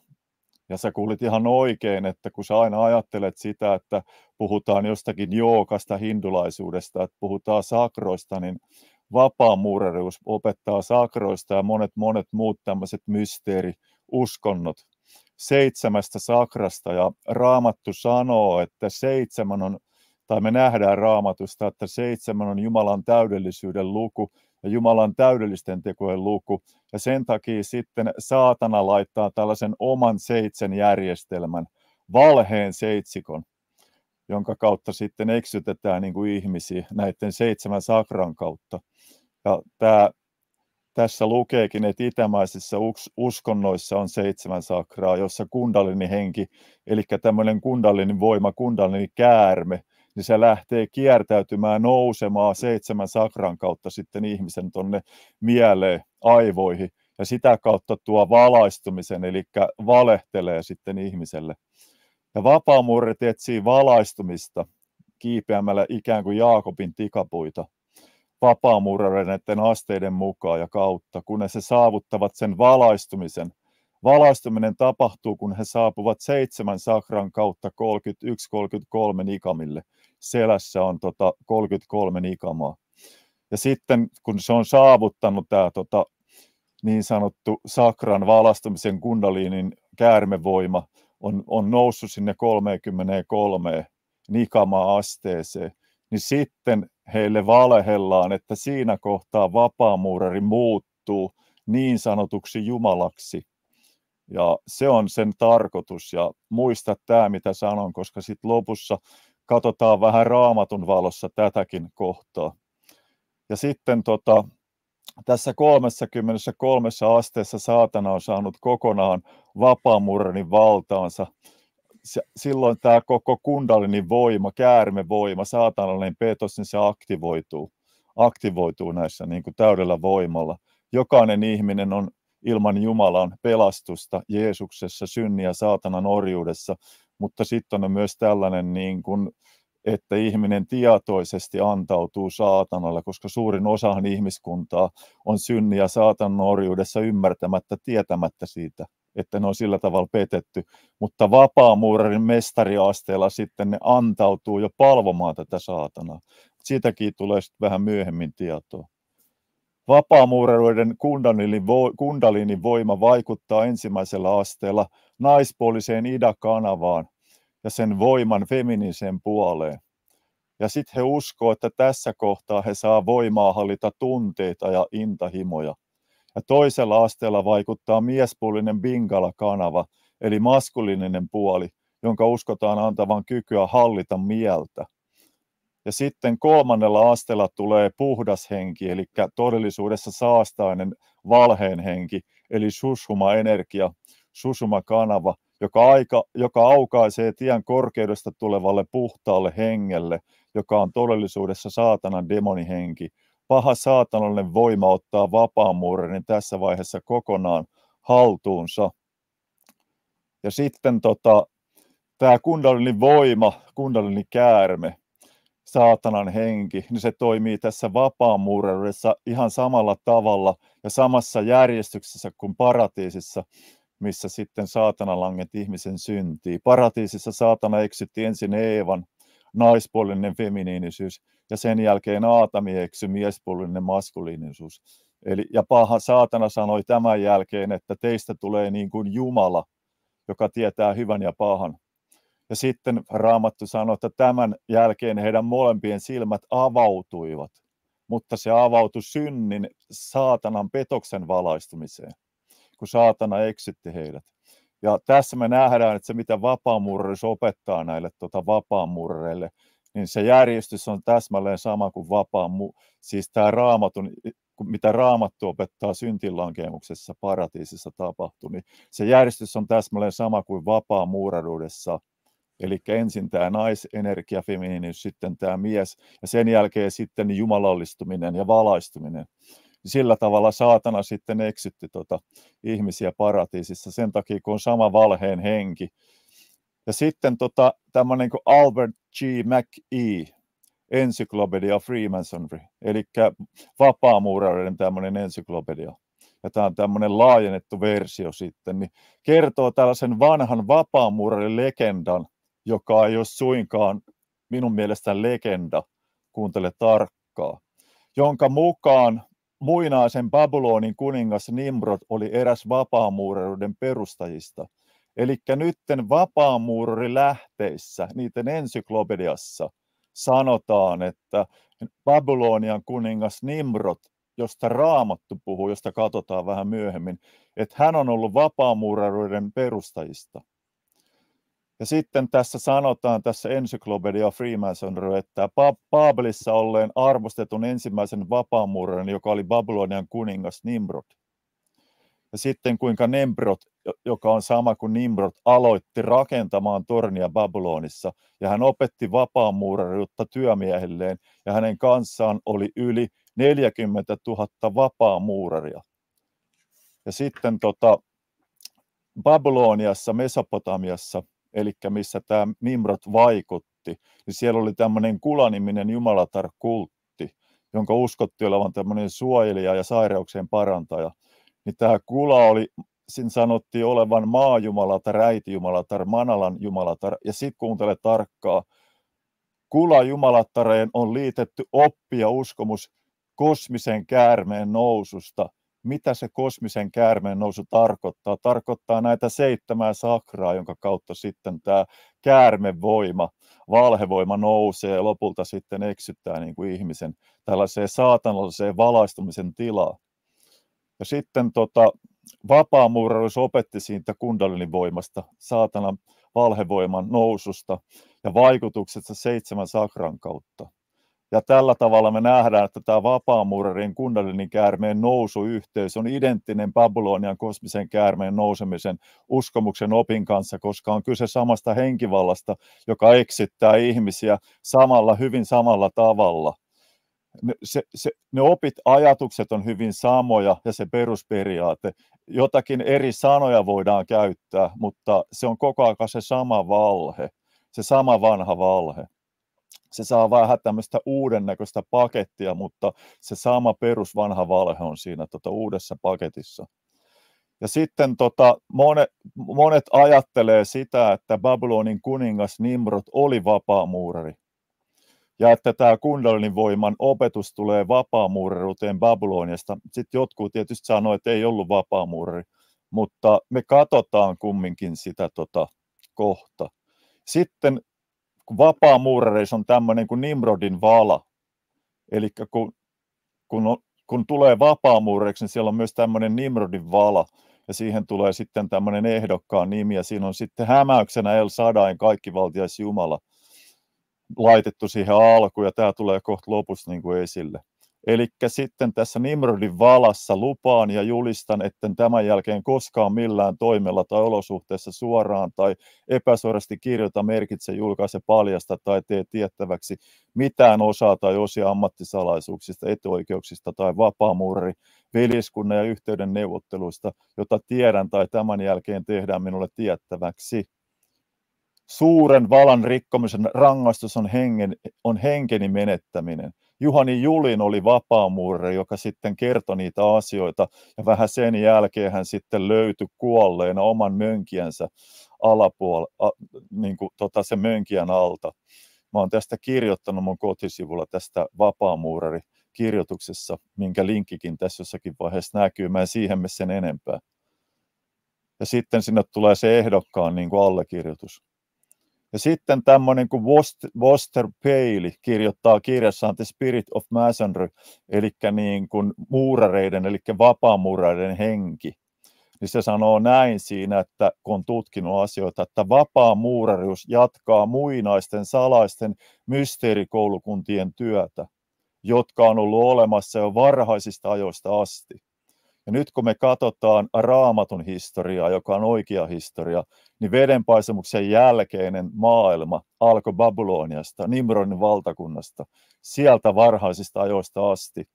Ja sillä tavalla me kyetään näkemään se, että Nimrod on oikeasti ollut tota ensimmäisiä vapaamuureita. Mutta katsotaan raamattua lyhkäisesti ja sitten mennään tota takaisin tähän vapaamuurri asiaan, niin me, me nähdään myös, mitä Toni äsken puhui, niin tulee niin kuin selkeyttä siihen, tota, että miksi politiikassa tehdään sitä, miksi politiikassa ajetaan, ajetaan uutta maailmanjärjestystä, niin se tulee kohta hyvin selkeästi esille tästä raamatusta sitten tästä vapaamurrivalheesta. Eli kuusille syntyy Nimrod, ja Nimrod tarkoittaa hebreaksi kapinallista, koska hän oli kapinallinen. Ja sitten tota, mä otin Jewish Publication Society Bibleista tämän tota, kahdeksannen jakeen luen, koska se on oikein siinä ja suomen kielessä, suomen kielessä ei ihan oikein. Että hänestä tuli maan mahtava. Eli hänestä tuli maan mahtavaan tämmöinen kirjaimellinen niin käännös hebreasta. Ja sitten kun meillä sanotaan yhdeksännessä jakeessa, yksi Mooses 10, yhdeksän, että hän on mahtava metsämies, niin sekään ei oikein käännetty, koska tämä Jewish Publication Society Bible hebreasta englanti, juutalaiset kääntää He was a mighty hunter, tarkoittaa, että hän oli mahtava metsästäjä. Like Nimrod, a mighty hunter before the Lord, eli, eli mahtava metsästäjä Herran edessä. Ja se on tota, tai hunter-sana on chayid hebreaksi. Ja tämä on mielenkiintoista, kun tutkitaan sitä, että miten sitten tota, raamatun tämmöiset niin tutkijat määrittelee tämän chayit-sanan, mitä se tarkoittaa. Se on tosi mielenkiintoista. Ja sitten sanotaan näin, että Nimrodin valtakunnan alku oli Baabel, Erek, Akkad, Kalnesinarin maassa, eli Baabel, siellä Baabelissa. Ja sieltä Baabelista alkoi sitten vedenpaisemuksen jälkeen nämä mysteerikoulut ja sitten tota, kaikki tämmöiset salaisuudet ja sitten nämä tota, tämä niin kuin nykyaikainen vapaa muuraus on sieltä lähtenyt ja sen takia siellä on myös tämä Nimrodin valaki. Ja sitten yksi Mooses 11 sanoo, jakees 2, he löysivät lakeuden Sinearin maassa, asettuivat sinne. Ja sitten he sanoo näin, että tulkaa, rakenta, tulkaa rakenta, tulkaa rakentakaa me itsellemme kaupunki ja torni, jonka huippu lottuu taivaaseen. Ja jotkut sitten on tulkinut tätä alkutekstin valossa tai muiden lähteiden valossa, että siellä tota, tornissa, jonka huippu, niin siellä olisi sitten palvottu taivaan kuningatarta, joka varmasti voi hyvinkin olla totta, koska siellä palvottiin taivaan kuningattaria, jumalat, jum, jumalatteria ja tällaisia. Tehkäämme itsellemme nimi, että me hajaantuisi yli kaiken maan. Ja sitten Herra sanoo, katso, he ovat yksi kansa, heillä kaikilla on yksi kieli, ja tämä on heidän ensimmäinen yrityksensä, ja nyt ei heille ole mahdotonta mikään, mitä aikovatkin tehdä. Ja sitten jakeessa kahdeksan, Herra hajotti heidät sieltä yli kaiken maan niin, että he lakkasivat kaupunkien rakentamasta. Siitä tuli sen nimeksi Baabel, koska se on sekoitus, hajannus tarkoittaa toi Baabel, koska Jumala sieltä hajotti heidät yli kaiken maan. Nyt sä näet, että mitä Nimrod ja mitä Baabelissa yritettiin tehdä, kun Baabelin to- torni rakentaa se oli sen ajan tota, ekumeenia, se oli sen ajan globaalista, se oli sen ajan maailmanjärjestys, yksi maailmanjärjestys, missä on yksi uskonto, yksi valta, missä on tämmöinen yksi hallitus, yksi valtarakennelma. Ja se on ollut koko aika niin kuin saatanan, tiedätkö, niin kuin rakennelmayritys te, yhdistää kaikki kansakunnat yhteen maailmanjärjestykseen, että jota hän saa sitten eksyttää, jotka palvelee saatanaa. Se oli täällä Baabelissa. Sitten kun Jumala sen sitten romutti, niin sen jälkeen kautta historian sitä on yritetty. Kaikki nämä suuret vallottajakansat, jotka sitten laajensi alueita, ne kaikki pyrki maailman vallotukseen koska saatana on, on ollut heidän herransa, isäntänsä, ja he on pyrkinyt tekemään tätä. Ja sitten, koska tämä Nimrod oli oikeasti tämmöinen ensimmäinen vapaamurre, ensimmäisiä niitä, niin senkin aikomus oli sitten saada tällainen kaikki kansat yhteen maailmanjärjestykseen, jota sitten voidaan hallita. Ja kohta me nähdään se, että vapaamurrit pyrkii uuteen maailmanjärjestykseen, missä ne hallitsee koko maailmaa, ja sitten siellä palvotaan sitten Luciferia, eli niin kuin saatanaa.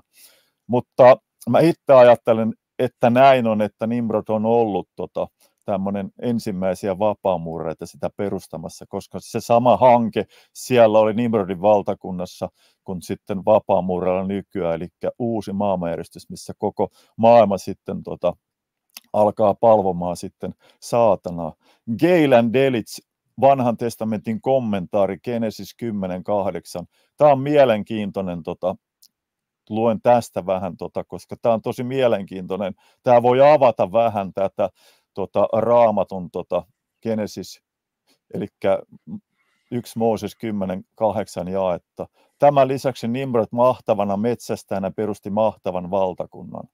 Tämän valtakunnan perustaminen osoitetaan verpillä, että se oli seurausta tai tulos hänen voimastaan metsästyksessä, joten metsästys liittyi läheisimmin valtakunnan perustamiseen. Näin ollen, jos ilmaus mahtava metsästäjä liittyy ensisijaisesti metsästykseen kirjaimellisessä merkityksessä, meidän on lisättävä kirjaimelliseen merkitykseen kuvallinen merkitys ihmisten metsästäjästä, ihmisten metsästäjästä, ihmisten vangitsija juonittelemalla ja voimalla. Tämä niin kuin Herder on sanonut. Nimrodista metsästäjästä tuli tyranni, voimakas ihmisten metsästäjä. Jeesus tekee Tiedätkö ihmisistä, jotka uskoo häneen, ihmisten kalastajia rakkauden totuudessa? Saatana tekee ihmisten metsästäjiä, jolla synnin petoksella sitten ajetaan tällaiseen synnin pakkovalta orjuuteen ja sitten saatanan palvontaa lopulta. Nimrodin tavoin mahtava metsästäjä Herraa vastaan, joka on ikuistanut hänen taitoaan metsästää eläimiä – vaan hänen menestyke, menestyke, menestyksekästä ihmisten metsästystään, kun hän perusti tyrannialla ja voimalla imperiumin valtakunnan. Ja sitä nyt yritetään tänäkin päivänä. Tässä on linkkejä sitten, tota, mistä nämä on otettu. Sitten on tämmöinen kuin Manly P.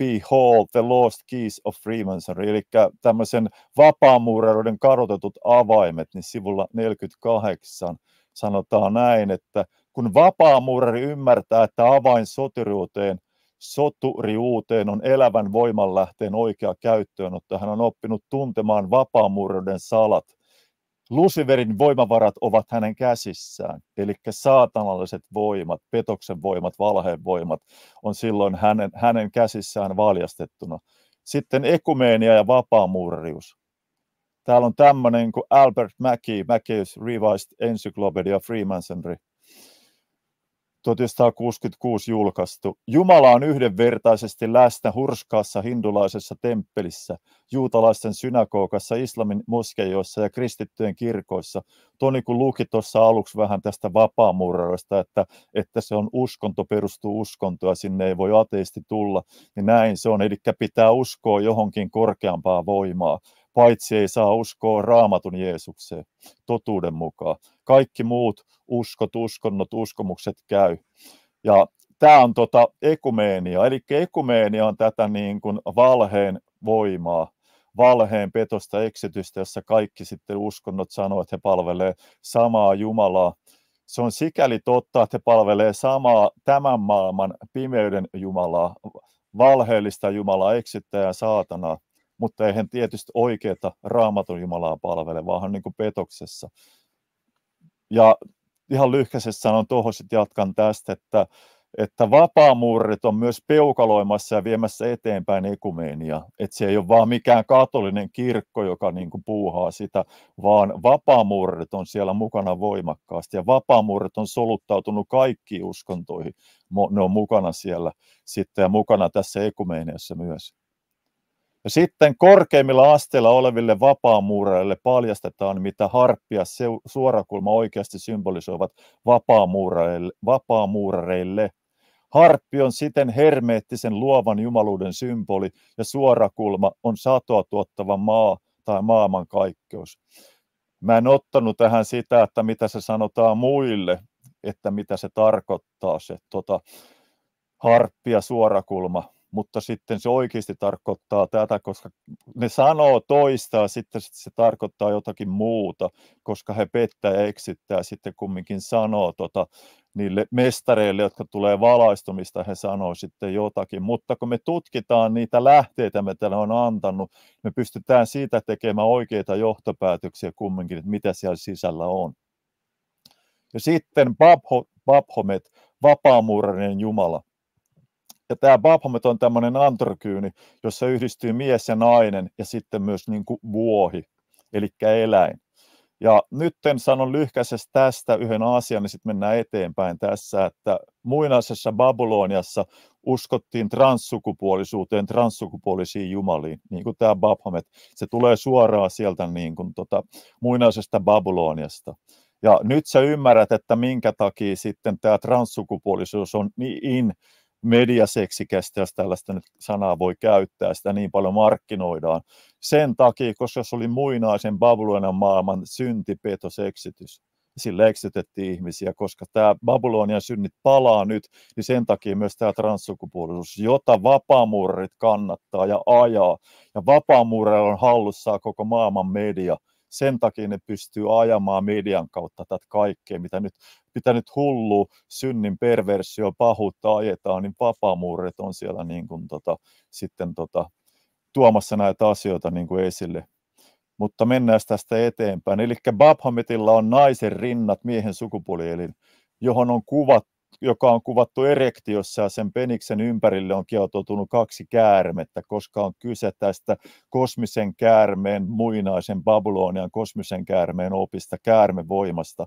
Saatana on aina käärmeen kautta pettänyt, eksyttänyt ihmiskuntaa. Me ollaan nähty se paratiisin lankemuksessa, Raamattu kertoo siitä, ja e, saatana toistaa itseä, että hän tämän käärmevoiman kautta sitten tota, eksyttää ihmisiä.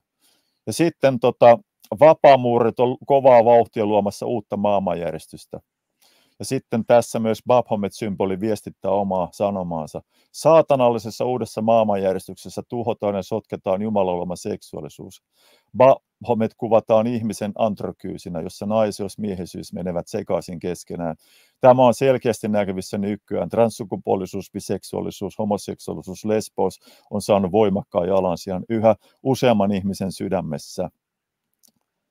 Ja sitten tota, Baphomet viestittää tätä, tätä seksuaalisuuden vääristymää siten, että Baphometin päänä on vuohisarvineen, joka symboloi sitä, että saatana eksyttää ja sekoittaa ihmisten terveen seksuaalisen identiteetin.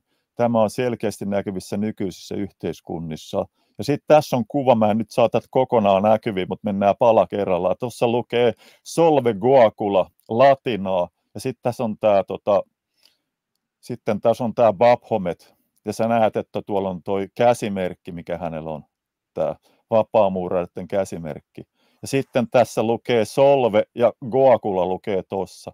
Jos olisi isompi, sä voit mennä etsimään tämän, niin sä näet, kun sä etit Googlella, tuolla lukee Solve latinaksi tuolla Goakula, ja se on tietty merkitys. Ja tässä on vuohenpää, naisen rinnat, sitten miehen sukupuolielin ja sitten siinä kaksi käärmettä ja sitten vielä vuohen niin kuin jalat, eli tämmöinen sekoitus. Mitä tarkoittaa solve et goakula? Mä lähdin sitä selvittämään. Itse asiassa tänään tutkin sitä ja sain selville latinankielinen ilmaisu solve et goakula, mikä on tuossa Babhometissa sitten, tota, niin se on johdettu sanasta solve, joka tarkoittaa hajottamista, erottamista, kun taas guakula kuvaa prosessia, jossa elementit yhdistetään uudelleen, guakuloidaan uudeksi, korkeammaksi muodoksi. Eli tämä transsukupuolisuus ja tämä sitten, missä sekoitetaan miestä ja naista, niin saatana pet että, että, että ne saa sen miehen ja naisen niin kuin molemmat niin kuin tavalla ominaisuudet. Ja sitten siinä häivitetään mies tietyllä tavalla nainen ja ne tuodaan sitten yhdeksi uudeksi paketiksi, ja sitten siitä tulee tämmöinen korkea muoto, missä ihminen sitten tota, saavuttaa tällaista korkeata niin kuin jumaluutta. Ja sen takia Babyloniassa opet, opetettiin sitten transsukupuolista niin kuin jumaluutta, että saatiin ihmiset sitten niin kuin kiinnostumaan, innostumaan ja haluamaan tällaisia transsukupuolisia asioita, kun jumalatkin oli transsukupuolisia. Ja sitten kun tota, tällä Babhametilla oli naisen rinnat ja miehen penis ja vuohen pää, niin tämä vuohen pää tarkoittaa sitä, että saatana hallitsee miestä ja naista. Ja tämä ihminen kävelee eli vaeltaa saatanan hallinnassa täysin silloin, kun se antautuu näille asioille. Ja sitten sanotaan, että tämä Baphometin vallos on itse asiassa Hermeksen kadekuus, eli tämmöinen sauva, muinaisten mysteeriuskontojen sauva, johon on kietoutunut kaksi käärmettä. Ja se on tämmöinen muinainen symboli, joka on edustanut hermesyyttä vuosistaan ajan. Kadekuus edustaa esoreteerisesti sakrojen aktivointia selkärauhan tyvestä käpyrauhaseen, käyttäen vä- käärmevoimaan tai astraalivaloa, eli tätä eksytystä, muinaista, saatanallista eksytystä ja sitten niillä on, tota, tämä ei ole kovin pitkä, mutta tässä lyhkäisesti tulee vielä asioita. Vapaamuureilla on symbolina kaikki näkevä silmä, joka on eräs vanhimmista pakanallista symboleista. Tämän silmän sanotaan olevan Jumalan silmä, joka hallitsee maailmaa. Kaikki näkevä silmä on myös Egyptin Osiris aurinkomalan symboli, vertauskuva sekä intialaisen Siva kärmi Jumalan symboli ja niin edelleen ja niin edelleen. Todellisuudessa Jumala hallitsee tätä maailmaa, kaikki vallitsee käsin, mutta sitten ne, jotka on synnin vallan alla, niin sitten saatana hallitsee niitä, eksyttää niin kuin pettää. Ja sitten tämä kolmas silmä, niin sen uskotaan olevan ovi kaikkeen tietoon ymmärrykseen. Ja idän uskonnossa seitsemäs sakran kautta meditaation avulla kolmas silmä avaa tietoa. Ja sillä tavalla. Ja hindulaisuudessa on tätä, kelttiläisillä papittarilla oli tällainen otsassaan, druideilla oli tällaista, ja tätä on vaikka kuinka paljon. Ja sitten tota J.D. Buck Vapaamuurari-kirjailija on kirjoittanut, että kaikki näkevä silmä, joka on jokaisella suurmestarilla, on Sivan silmä, hindulainen jumaluus, joka on aktiivisena suurmestarissa värähdellen hänen aivoissaan yhdistää valon ja äänen. Ja sitten J.D. Pak on sanonut, että vapaamurros on universaalinen, eli ekumeeninen uskonto vain siksi ja niin kauan kuin se hyväksyy kaikki uskonnot paitsi ei tietenkään raamatun Jeesusta uskoa totuuteen. Ja sitten henkioppaat ja vapaamuurarit, ja Tonihan puhui tästä aika paljon ihan asiaa. Vapaamuurari Manny B. Hall on kirjoittanut, todellinen mestarimuurari keskustelee näkymättömien voimien kanssa, eli henkioppaiden kanssa, eli todellisuudessa riivaihenkien kanssa, jotka antaa heille tietoa, pettää, valehtelee. Hän on veljeskuntansa henkisten hierarkioiden henkien edustaja. Hän pyrkii arvolliseksi pääsemään verhontaa ja liittymään siihen, eli henkien joukkoon, joka on vastuullinen ihmisten kasvusta. Vasta sitten, to, vasta sitten todellinen vapaamuurari on syntynyt. Eli ne alemmat asteet, kun ne kaverit on siellä, ne ei taju, missä ne on mukana. Sitten jos ne pääsee näin pitkälle, niin sitten vasta ne tota, alkaa sitten palvomaan todellisesti saatanaa ja on, on, on täysin niin kuin sekaisin. Ja sitten tulee tätä yhtä uutta maailmanjärjestystä. Albert Pike, Mollars and Dogma. Me tulemme perustamaan maailman tasapainon, olemaan maailmanjohtajien hallitsijoita. Eli todellisuudessa, kun sä näet näitä sitten tota Biden ja Trumpia tällaisia kavereita, niin tota, ne on tämmöisiä marionettinukkeja. Heidän takanaan on todelliset niin kuin vaikuttajat, jotka sitten vaikuttaa ja vie sitä tota, pahan, pahan valtakuntaa eteenpäin pyrkien viemään kohti uutta maailmanjärjestystä. Ja sitten kirjallinen vapaamuurari vaikuttaja Manny P. Hall Lectures on Ancient Philosophy sanoo näin, että eli muinaisesta filosofista sanoo näin, että olemme lähestymässä jalompaa aikakautta, jolloin kansakuntia ei enää ole, uusi maailmanjärjestys, jolloin koko maailma on yhden järjestyksen, yhden hallituksen, yhden hallinnollisen järjestön alaisuudessa, eli uuden maailmanjärjestyksen tota, alaisuudessa hallinnassa. Siihen ne pyrkii vapaamuurit.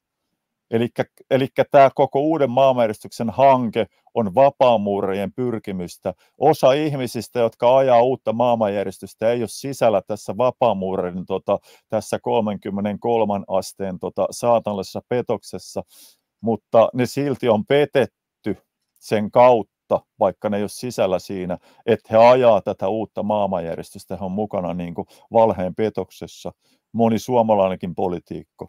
Sitten tutkija Paul A. Visser on perehtynyt vapaamuureen oppeihin, tutkien lukien vapaamuureen kaikki kuukausilehti New Age-numerot vuosilta 1921-1981, ja hän teki tutkimuksestaan seuraavanlaisen johtopäätöksen.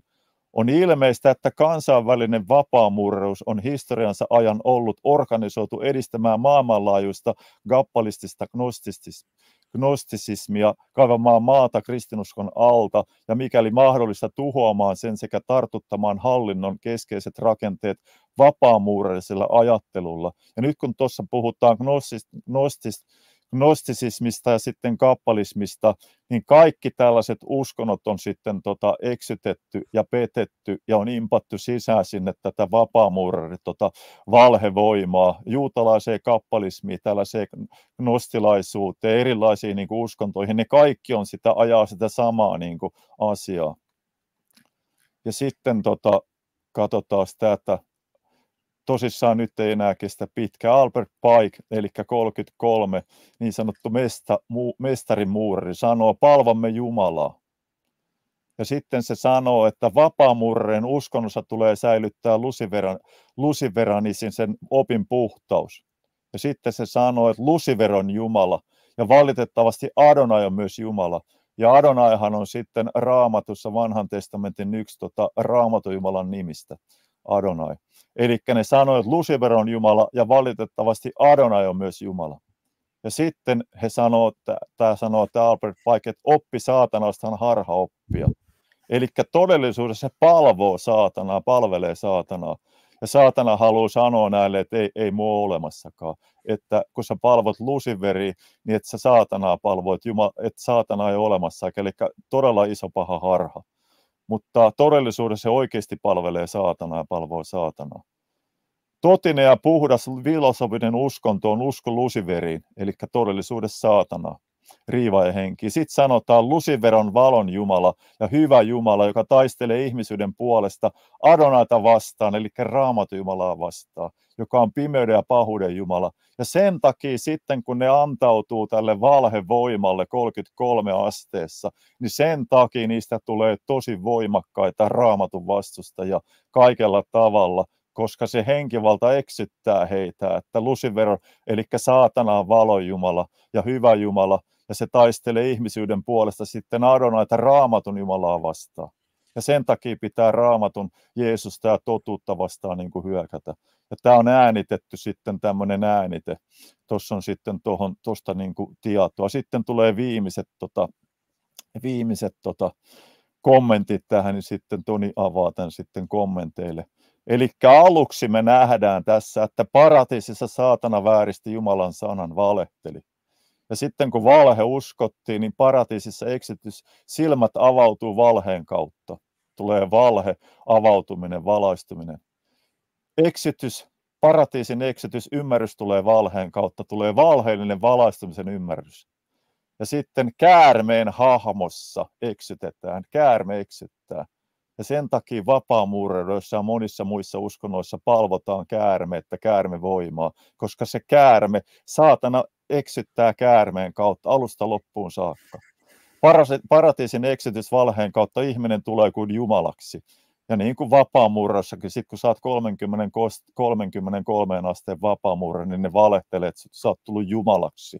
Sä oot saanut salaisuudet voimat, että susta on tullut jumala. Se on se paratiisin valhe. Babylonissa saatana yhdisti ihmiset yhdeksi yhdessä palvomaan häntä. Ja sitten lopuksi, mitä tulee käymään tässä lopuksi, päivien lopulla tulee antikristuksen antikristilleen uusi maailmanjärjestys. Uusi maailmanjärjestys yhdistää ihmiset yhdeksi palvomaan pahaa saatanaa. Se, mikä Babyloniassa sitten romutettiin, hajotettiin, se yksi maailmanjärjestys, yksi maailmanjärjestys, se palaa takaisin sitten tässä lopunajassa paha antikristus julistautuu Jumalaksi sitten. Jeesuksen opetuslasten ja juutalaisten vaino alkaa sitten, kun ne asiat alkaa tapahtumaan. Pyrkimys tuhota lopulta koko ihmiskunta iankaikkisesti, eli eksyttää ihmisen sielu sitten tota, iankaikkiseen kadotukseen. Ja sitten viimeinen kohta tästä. Herran Jeesuksen toinen tulemus, Antikristus kohtaa loppunsa, alkaa tuhannen vuoden rauhan kuningaskunta Herran Jeesuksen johdolla. Eli sitten on tämä Vapaamurrit-sivu, tai mun kirjoitus tuolla, niin tästä on aika paljon tästä. Niin lyhkäisesti sanon vielä tähän lopuksi. Eli tätä pahuuden suunnitelmaa ei kukaan muu voi voittaa kuin Jeesus.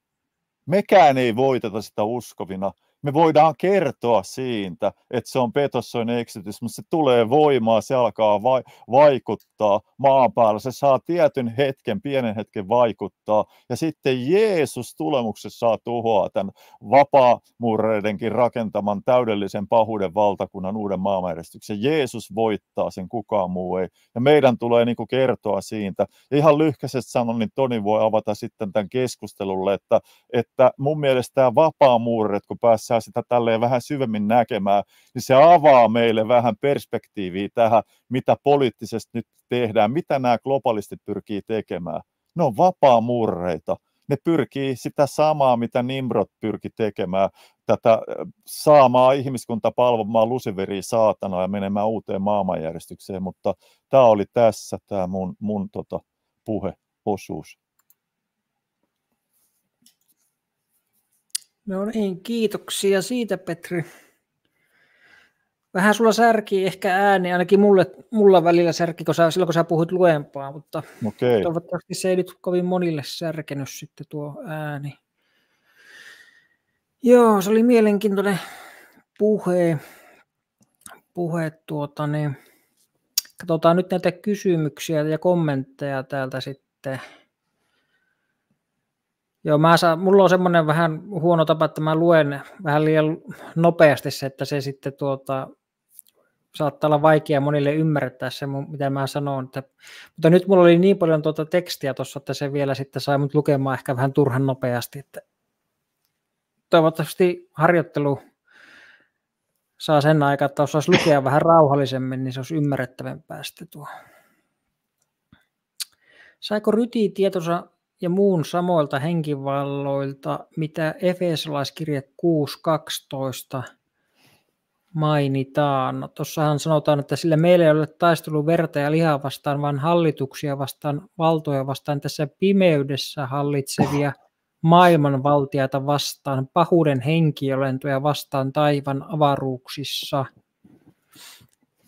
No niin kuin mä tuossa esityksessä toin esille, niin siltähän se vähän vaikutti, että Ryti, Rytillä oli, tai hänellä oli jopa oma tuommoinen henkiopas, ja sitten se hänen vaimonsa henkiopas, joka oli niin todella aktiivinen ja vaikutti se hänen vaimonsa jokapäiväiseen elämään ja kaikkeen toimintaan, niin että Ryti kyseli sitten siltä tietoa, että miten tulisi tehdä. Ja sittenhän me nähdään, että se mitä se vaimo sanoi, että miten tulee menemään, niin oli Rytin politiikkahan oli justiinsa sen mukaista sitten.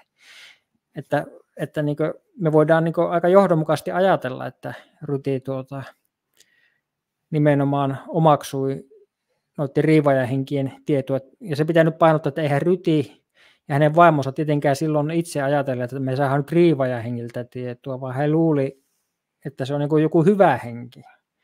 Mutta raamatun valossa me voidaan nähdä, että kyseessä on riivajahenki, valhehenki.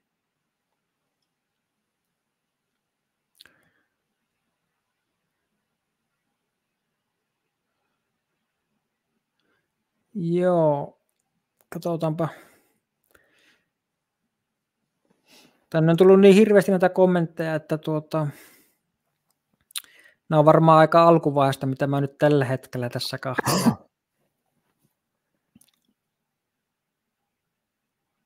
että tuota,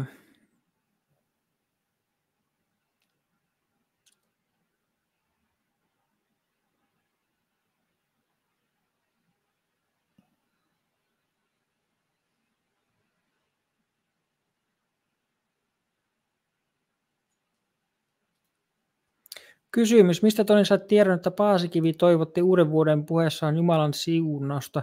Lueskelin presidenttien uuden vuoden puheita, eikä niissä Paasikivi toivota Jumalan siunausta. No siis tämä kirja Myrskyä ja mystiikkaa.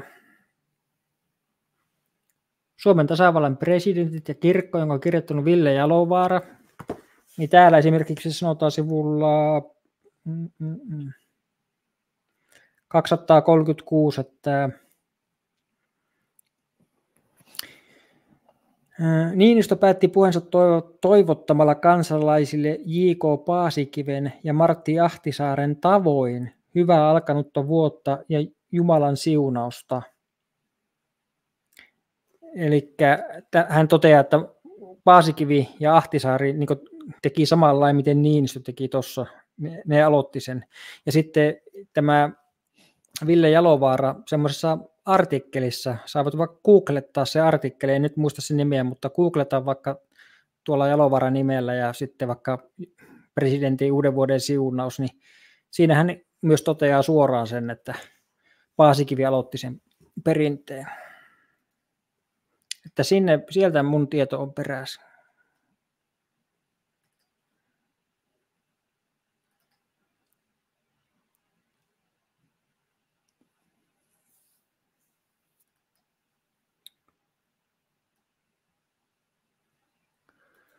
Mm. Kyseessä on Rytin mustapesu ja Paasikiven valkopesu. Eiköhän ne vastaukset noudattele samaa agendaa? No, kaikki nuo mun diathan perustu näiden asiantuntijoiden lausuntoihin. Niissä ei ollut mitään minun mutua. Niin tuota, en mä tiedä, jokainen voi sitten itse miettiä, että onko se mustapesua vai valkopesua. Se on vähän, että missä valossa sä sitten haluat tuommoisen asian nähdä jos sä haluat nähdä sen, että pysyy viimeisen asti Saksan puolella ja vastustaa Venäjää, niin onko se sitten mustapesua? Jos se on mustapesua, niin okei, jonkun mielestä se voi olla valkopesu. Mutta nämä on jo faktoja, että Ryti oli myös sitten tuota vapaamuurari ja spiritualisti. Ja, ja nuo, mitä tuossa kerrottiin tuosta sodan kulusta, niin se on niin kirjoitettua historiaa. Kommentoi vaan Petri, jos tulee mieleen jotain. No tästä Ryti Paasikivestä mulla ei ole sellaista asiantuntemusta, että mä vaan olen kuunteluoppilaana. Raamatun asioihin voin sitten kommentoida.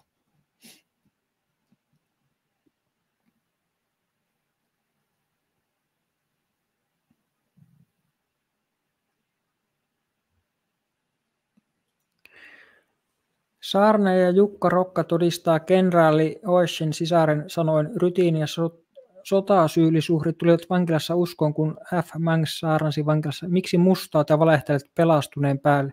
No mä haluaisin kysyä tältä Tuomolta, että mitä mä oon nyt niin mustannut tai valehdellut?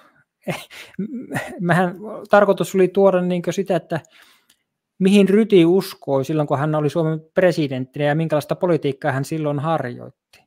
Ja ennen kuin mä aloittin tämä mun esitelmä, niin mä jo silloin toin esille, että että Jukka Rokka kertoo, että Ryti olisi tullut kristiuskoon vankilassa ja sitten, että ne tämä kerta Ryti kertoo radiohaastattelussa vuonna 1976, että hänen miehensä luki loppuaikana raamattua ja kiitin Herraa siitä asiasta. Niin, niin että tämä sun todistus nyt minusta ei välttämättä ole nyt ihan paikkansa pitää.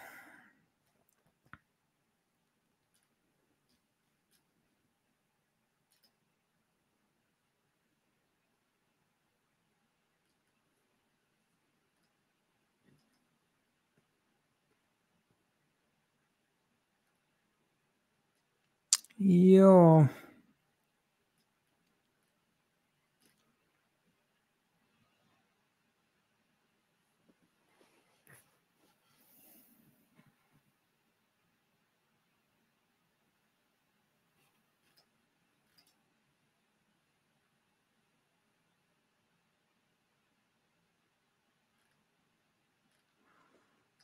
Ei ole semmoista niin kysymystä oikein tullut vielä eteen täällä.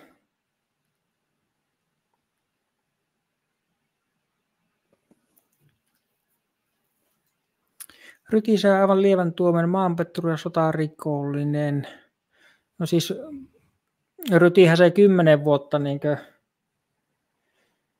se oli rankin tuomio mun mielestä, mitä saattoi saada tuommoisesta, että se oli kymmenen vuotta kuritushuonetta. Sitten Paasikivi, oliko se neljä-kolme vuotta ja Ryti olla siellä, niin Paasikivi armahti sen niin terveydentilan vuoksi.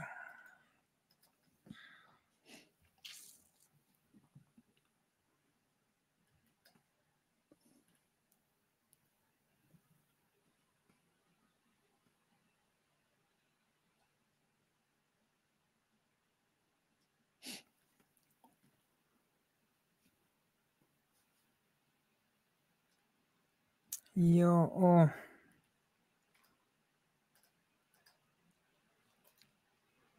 Jumalan tuomio kohtaa Suomea sateenkaaren moraalitomiin lakeihin asti.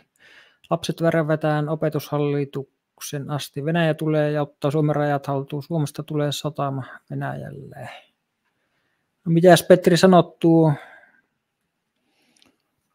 No onhan Jumalan tuomio kohtaa Suomeen, että tämä sateenkaari, transsukupuolisuus, transsukupuolisuusasia, agenda on täysillä, sitä vie Suomen päättäjät, sitten vie tätä uuden maailmanjärjestyksen NATO-hanketta täysillä ja tota, sotaa, sotakiimaa ja kaikkea ja kaikkea muuta moraalittomuutta, niin kyllähän se selvä asia on, että, että Jumalan tuomio on Suomen niin kuin päällä, päättäjien päällä ja kaikkien päällä, jotka sitten on tota, kannattaa tätä syntiä. Tästä tuomiosta on vapaa vaan ne, jotka rakastaa Herraa Jeesusta totuudessa, koko, kokonaisuudessa.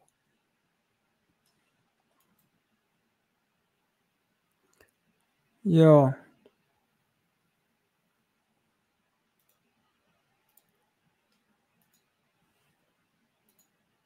Olisiko Suomi joutunut jatkosta ilman Neuvostoliiton vaikutusta pitäisi kysyä Jartsipeksi. No, Natseillahan oli tarkoitus siis hyökätä tuo operaatio Barbarossan kautta Neuvostoliittoon. Eli se oli se, mitä natsit halusi välttämättä tehdä, koska se oli Hitlerin niin tarkoitus oli vallata Neuvostoliitto. Niin tuota,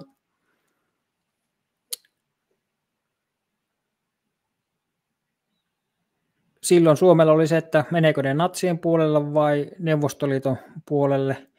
Ja Paasikivi ajoi koko ajan sitä, että meidän pitää pitää tämä rauhasopimus, mitä me ollaan talvisodassa niin solmittu Neuvostoliiton kanssa, eikä lähentyä niin Saksaa. Ja sitten Paasikivihän totesikin myöhemmin sitten, että meillä olisi nyt paljon parempi asema ollut, jos me oltaisiin niin noudatettu tämmöistä ystävyyspolitiikkaa silloin talvisodan jälkeen suhteessa Neuvostoliittoon, niin se tuommoisessa yhdessä lehdistötiedotteessa niin ottaa kantaa, se tekee semmoisia ajatuskokeen. Mä en nyt rupia lukemaan sitä, koska se on melko pitkä, niin se tekee semmoisia ajatuskokeen, se nimenomaan siinä kertoo pahimman mahdollisuuden, miten meillä olisi käynyt, jos me ei olisi liittouduttu Saksan kanssa, vaikka niin Neuvostoliitto olikin niin sitä Neuvostoliiton uhkaa silloin talvisodan jälkeen, niin se tulee siihen lopputulokseen, että meillä olisi ollut paljon parempi niin lopputulos niin pahimmassa mahdollisessa tapauksessakin siitä huolimatta, kun miten nyt kävi sitten, kun me mentiin natsien kanssa yhteen. Tuossa oli Toni hei sellainen kysymys. Sä voisit ehkä sen löytää, mutta ajattelin, että tässä vaiheessa olisi hyvä vastata siihen. Se tuli sulle ja mulle. Semmoinen, että mikä on meidän käsitys niin kuin paikallisseurakunnasta ja niin kuin yleensä seurakunnasta ja mikä on meidän seurakunta, niin mä voisin vaikka ekaksi vastata, että mulla on sama näkemys kuin Raamatulla ja esimerkiksi Paavalilla oli siitä, että, että on vain yksi seurakunta, Jumalan seurakunta, johon sitten Jumalan pelastamat kastetaan pyhässä hengessä, kun he saa Jumalan hengen uudistuntyy ylhäältä, niin he liittyy sitten Jumalan seurakuntaa sitä kautta paikkakuntansa seurakuntaa, siihen yhteen ainoa niin kuin Jumalan seurakuntaa. Ja sillä periaatteella mä kuulun siihen tota, paikalliseen seurakuntaan, missä mä asun, ja sitten tähän niin kuin Jumalan seurakuntaan. Ja itse asiassa raamatussa ei ole mitään muita seurakuntakäsitteitä, mitä me ollaan tehty, niin raamattu ei tunne näitä tällaista luteraisuutta, helluntalaisuutta ja niin edelleen.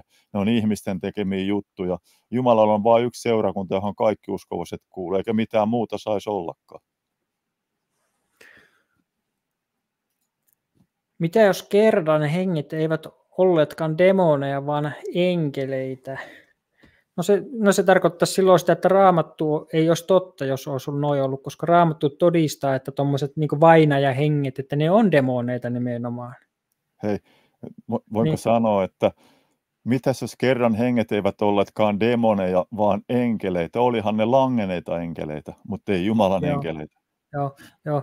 Eikä ne ollut mitään hyviä henkiä, siis semmoisia suojelusenkeleitä, vaan oli nimenomaan näitä valheenhenkiä, koska se on niin Kyllä raamatun todistus tästä asiasta. Toki sitten semmoinen, joka ei usko raamattuun, niin sitten voi sanoa, mihin itse uskoo ja yrittää sitten siten perustella se asia, mitä ne on, mutta me uskotaan raamattu, että raamattu on Jumalan sana ja raamatun valossa niin oli nimenomaan demoneja, koska kaikki tämmöiset niin vainajahenget on niitä.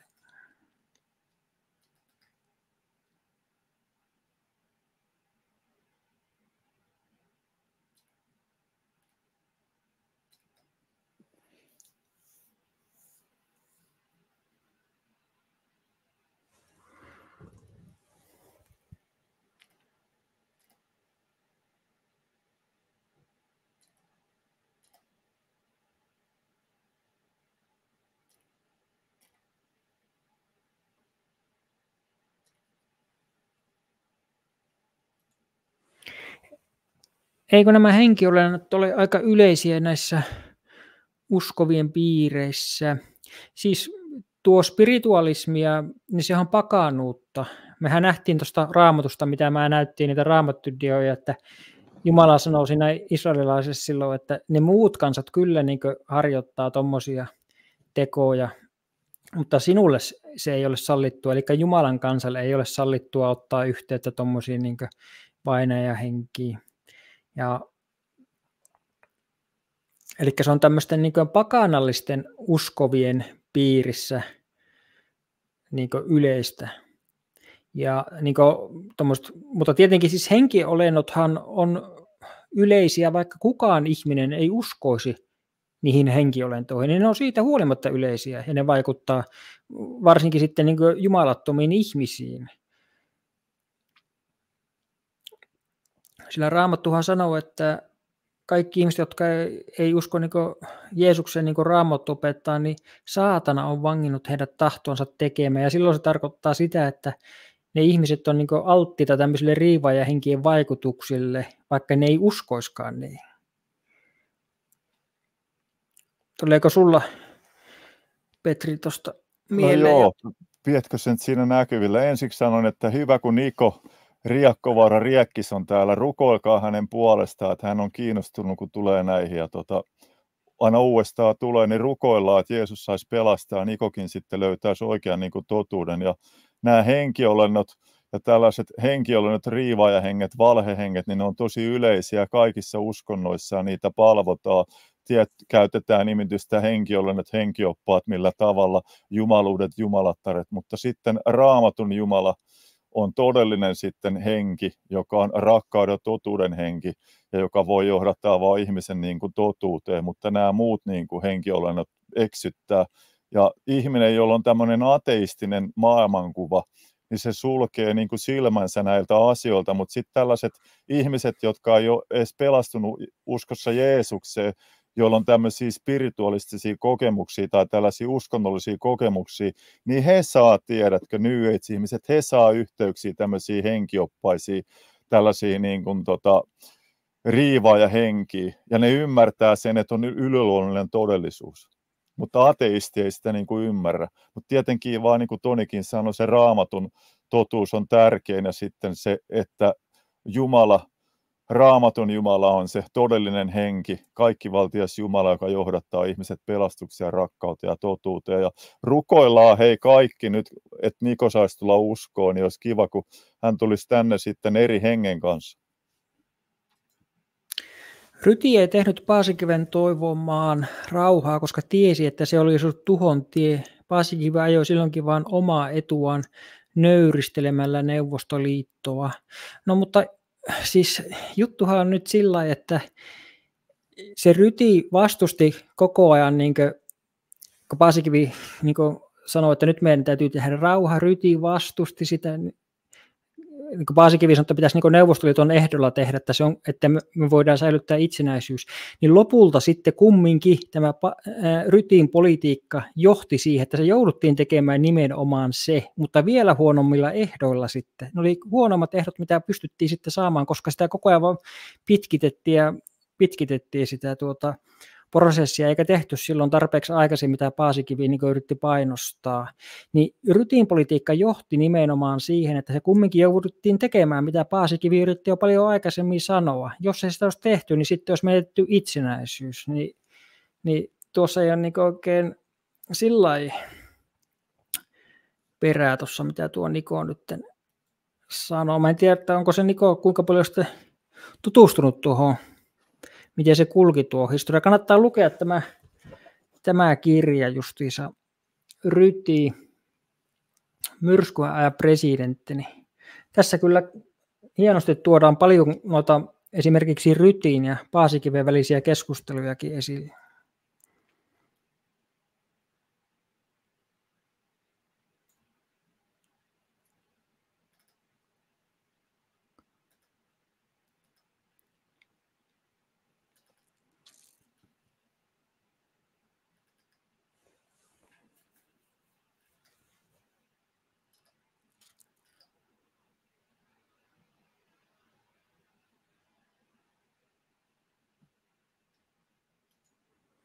Halla on puhunut täyttä faktaa Venäjästä. halla on paljon tutkinut asiaa, kuten myös Arto Luukkanen.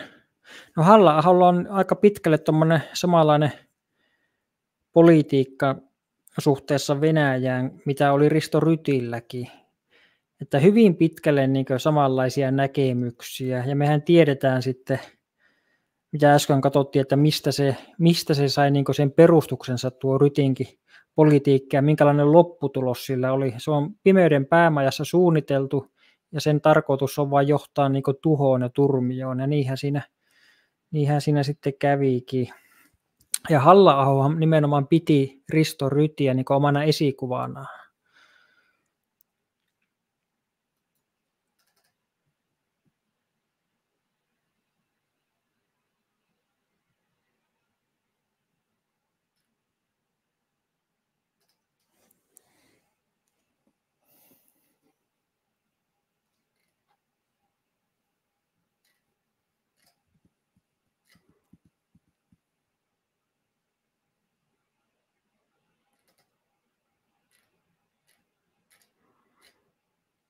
Joo.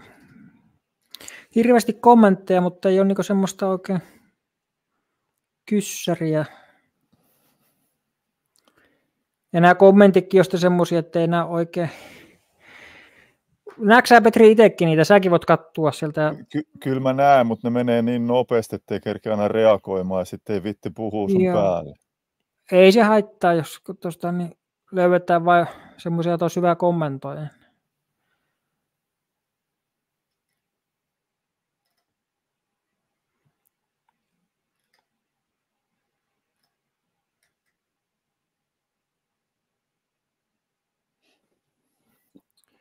Kyllä nuo kaikki ovat valheen hengestä. Vapaamuurarit, New Age ja Kundalini-voimat.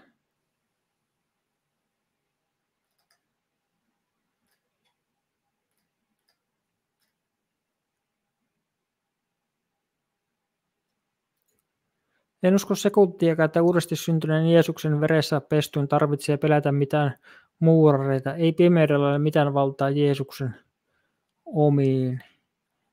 Eihän sillä olekaan, mutta näitä asioita tuodaan myös sitten siis varoitukseksi sillä että me voitaisiin ymmärtää, että minkälainen politiikka esimerkiksi perustuu pimeyden tekoihin. Ja se on vaan niin ihan fakta, että tuommoinen rytimäinen politiikka on tällä hetkellä Suomessakin vallalla. Yksikään presidenttiehdokas ei pitänyt Paasikiveä esikuvana, joka oli niin rauhanrakentaja. Sen sijaan neljä piti rytiä esikuvana. Pietkö he vielä sen siinä näkyvillä? Niin ei tota, vapaamurreita sen takia täällä on kerrottu, että niitä pitäisi pelätä meidän uskovien. Ei todellakaan, vaan niin kuin Toni sanoi, että se pitää tuoda esille ja paljastaa ne pimeyden teot, koska vapaamurrit on monessa hankkeessa mukana Natossa, esimerkiksi NATO on vapaamurreiden agendaa luomusta, ja monet uskovaiset kannattaa sitä. Niin tässä valossa näitä asioita pitää tuoda esille, että jumalattomat vois pelastua, tajuta, että tässä on pahuus ympärillä maailmassa, ja sitten, ettei uskovat kannattaisi näitä tota, vapaamurrihankkeita, jota on paljon muitakin niin sen takia näitä pitää, pitää esillä, koska muuten, tota, niin kuin näkee hän selvästi, että tänä päivänä iso osa uskovi silmätummessa vilpittömyyden tilassa kyllä kannattaa tätä NATOa, joka on kauhea asia. Joo. Tämä sama kaveri sanoo, että sano Petrille nyt ihan liveen, että 9 dp pois, se riisee pahasti. Osaatko tehdä no. tuolla?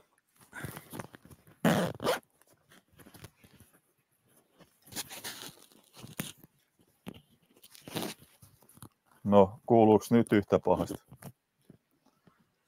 No se riippuu, kuinka luja sä puhut sitten. Mulla on nyt vähän sellainen tietokone, että mä en päästä niitä säätöjä tekemään. Joo.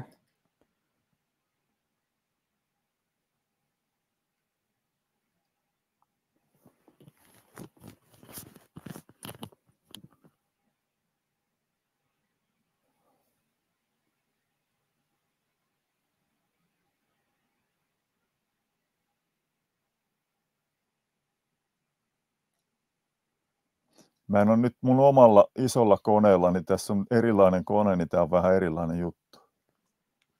Joo, tässä on tämmöinen, että tänään torppa kyllä jää vähän väärässä tiedossa, sorru häpeään. Joo, se ei nyt perustele sitä, että mikä se mun väärä tieto on, että, että siihen voisi vastata.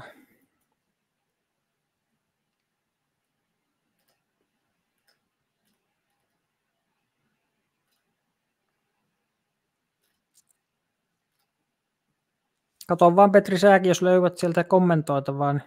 No ne menee Ei tun... heti, kun, ne men, heti kun näen, niin sitten ne alkaa menee ylöspäin. Niin to, ja mä en pysty tästä ottaa niitä tuosta, niin se ei oikein toimi.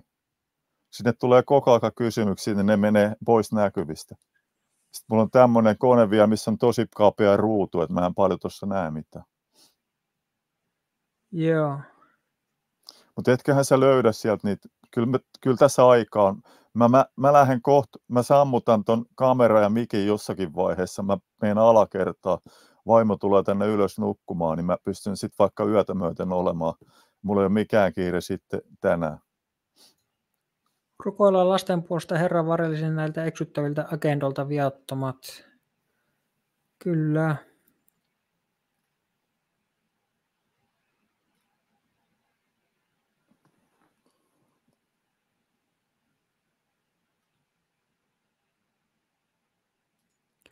Sinä vain luulet, että olen väärässä. Tietenkin jokainen voi koko ajan asiat miten haluaa, mutta ei sillä ole tosiaan kanssa mitään tekemistä. Niin tosiasiat pitää aina pystyä perustelemaan hyvin, eikä sanoa esimerkiksi, niin kuin Niko sanoi tuossa vähän aikaa sitten, mitä mä nyt nostanut esille, että, että niin numero viiden äänestäminen maaleissa on niin isänmaallinen teko. että tuota, ilman mitään sen parempia perusteluja, niin se on just tämmöistä mielivaltaisen uskon levittämistä, perusteettoman uskon levittämistä ja, ja sitten se suuri auktoriteetti on sillä niin subjektiivinen tunne siellä taustalla.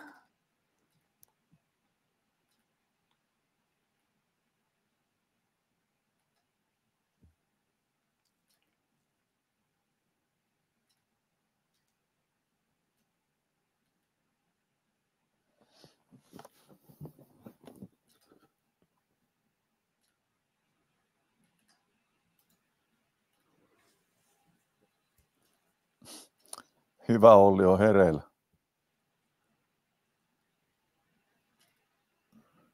Joo.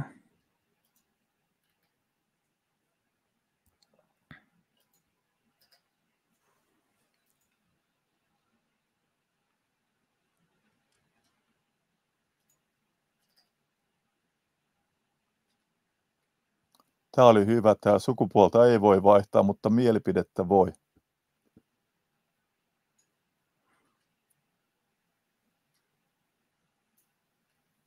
Kyllä.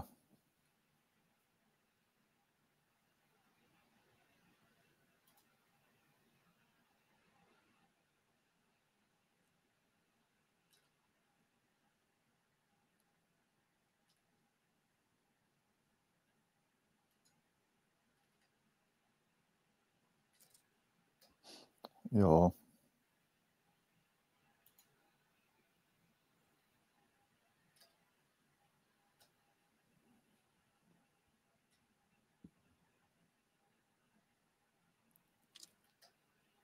Osaatko siihen vastata?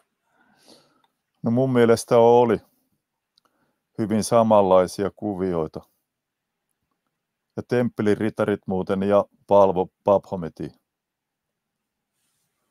Tai, tai näin on sanottu. Mutta jos vähän tutkii niitä, niin kyllä ne samasta puusta on veistetty.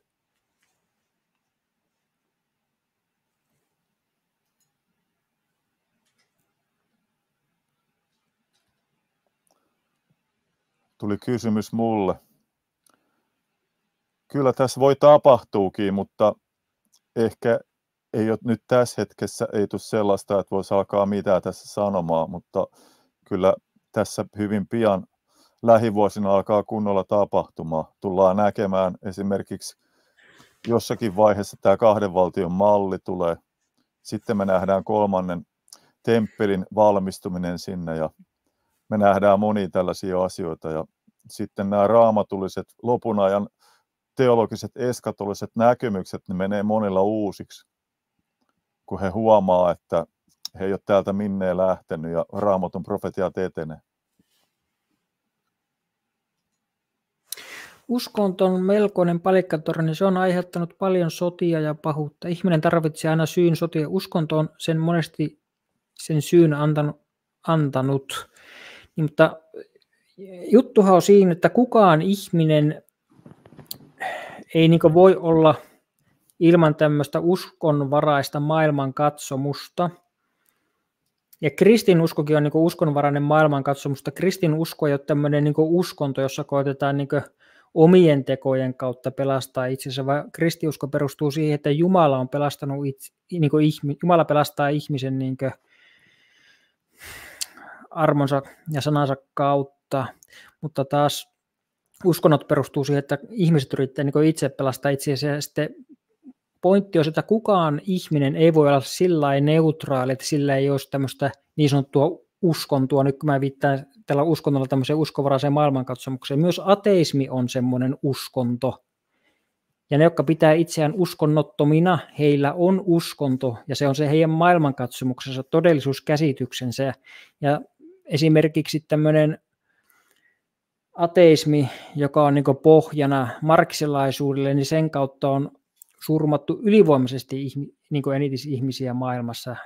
Ja niin kuin Lenin sanoi, niin marksismi perustuu täysin niin ateismin päälle. Niin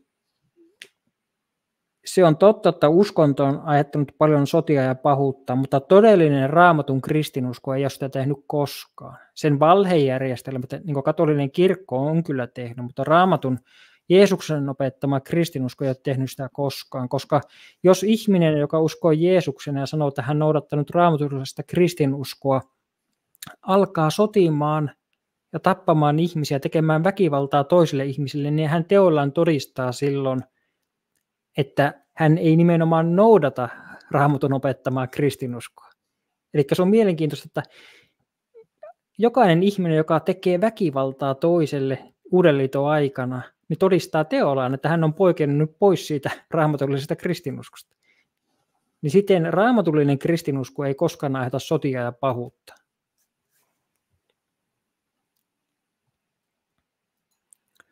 Kysymys, tuleeko saatanan palvonta vapaamuurariudessa mukaan vasta 33. asteella vai jo paljon aiemmin? No vastaappa no, Näistä lähteistä, mitä on tutkinut, niin 31, 32, 33 asteella sanotaan, että se alkaa niin kuin tulemaan. Mutta sitten tietysti siellä viimeinen asteella, niin siellä se tulee kaikki, niin kuin, kaikki paljastuu, mutta kyllä se todennäköisesti siinä jo 31-32 tulee mukaan. Joo, se on mielenkiintoista, että niin kuin tuossa vapaamuurariudessa oli se justiinsa, että atesteja ei, niin kuin, että ne uskoo johonkin, mutta sinne saa tulla niin tämmöiset vaikka hindut, muslimit, ää, kristityt ja kaikki sinne näin, ja sitten tuota, niiden pitää tunnustaa uskoa siihen kaikki tietävään Jumalaan ja niin tuota, se on vähän niin kuin vuori, ja jonka päällä on sitten se kaikki tietävä Juma, heidän kaikki tietävä Jumalansa, eli todellisuudessa Luciferia, niin sitten kun ne lähtee kipua sitä vuoren rinnettä, niin ne ei sillä alemmalla tasolla, ne ei niin ole toistensa kanssa, ne ei näe toisiaan, mutta sitten kun ne pääsee lähemmäs sitä heidän Jumalansa, niin he yhtyy siellä. Niin sitten tuossa spiritualismissakin oli se sama ulottuvuus, että pitää niin tunnustaa se yleismaailmallinen veljeys ja niin poispäin, niin niissä on se sama tuommoinen ekumeeninen yleismaailmallisen veljeyden tunnustaminen ja semmoinen, ja se tehdään tuommoisten niin ulkokultaisten puheiden ja tavoitteiden kautta, mutta se mitä ne ei tunnusta, niin on raamatun totuus. Se, että isän luoksi on vain yksi tie, Herra Jeesus Kristus, vaan nimenomaan sitä vastaan ne taistelee. Ne sanoo, että ei, Jumalan tykö on monia erilaisia teitä. Ja, mutta se, se jostaa nimenomaan sitten ihmisen tuhoja, niin epäjumalan palvonta ja saatanaisyli.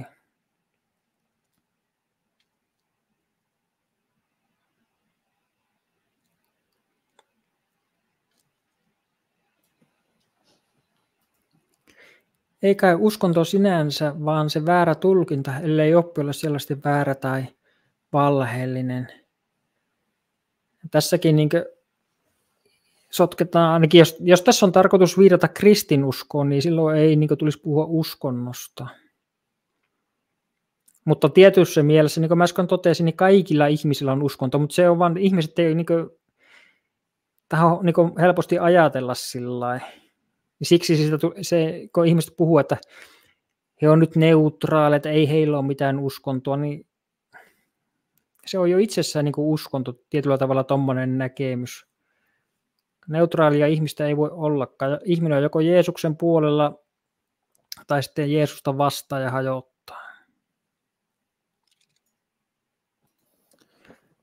Kysymys. Kirkolliskokouksen tulee käsiteltäväksi samaa sukupuolta olevien vihkiminen avioliittoon. Eikö tämä ole uuden maailmanjärjestyksen edistämistä? Otappa siihen kantaa. On, sitähän se on, tota, sitä muinaisen Babylonian niin kuin valhetta ja syntiä. Sitä se on, ja itse asiassa kirkossa, luterilaisessa kirkossa on jo tällaisia työntekijöitä, jotka on jo vihkinnyt. Vaikka sitten jos sillä tavalla virallistettu, niin siellä on jo vihitty näitä. Ja se monet on jo hyväksynyt, kunnes vaan sitten tulee se tavallaan virallinen kumileimasin siihen, joka kohta niin kuin tulee. Ja ois, oispa se sitten semmoinen vaikka viimeinen herätys kello sille, että oikeiden uskovien pitäisi jättää tällainen systeemi ja järjestelmä. Ei mitään tekemistä pitäisi olla tällaisen kanssa.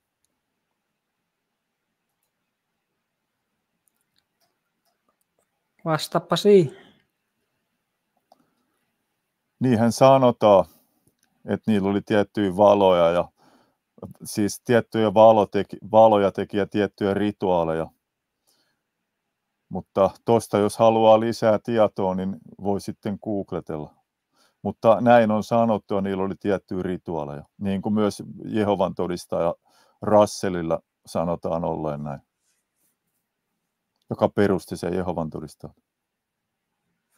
Kysymys Petrille siinä. Tota, mä tiedän tämän Altian Silesin ja mä en ole nähnyt sitä viittä tuntia. Mä oon sitä katsonut pikkupätkiä sieltä, mutta en jaksanut katsoa sitä viittä tuntia, enkä ole sitten saanut aikaiseksi katsoa sitä myöhemmin, mutta tiedän kyllä ja olen vähän lukenut siitä ja pätkimällä katsonut sitä, että tietenkään tiedä kaikkea, mitä se siellä sanoo, mutta, mutta tiedän jonkun verran, mitä se ajaa takaa ja mitä se on paljastellut.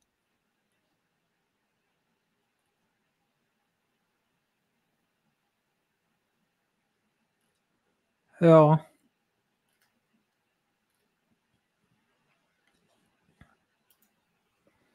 Kysymys. Neuvostoliitto oli liitossa brittien ja jenkkien kanssa, jotta ateistinen uusi maailmanjärjestys etenee. Nykyinen Venäjä vastustaa tätä. Eikö tästä ole nyt kyse?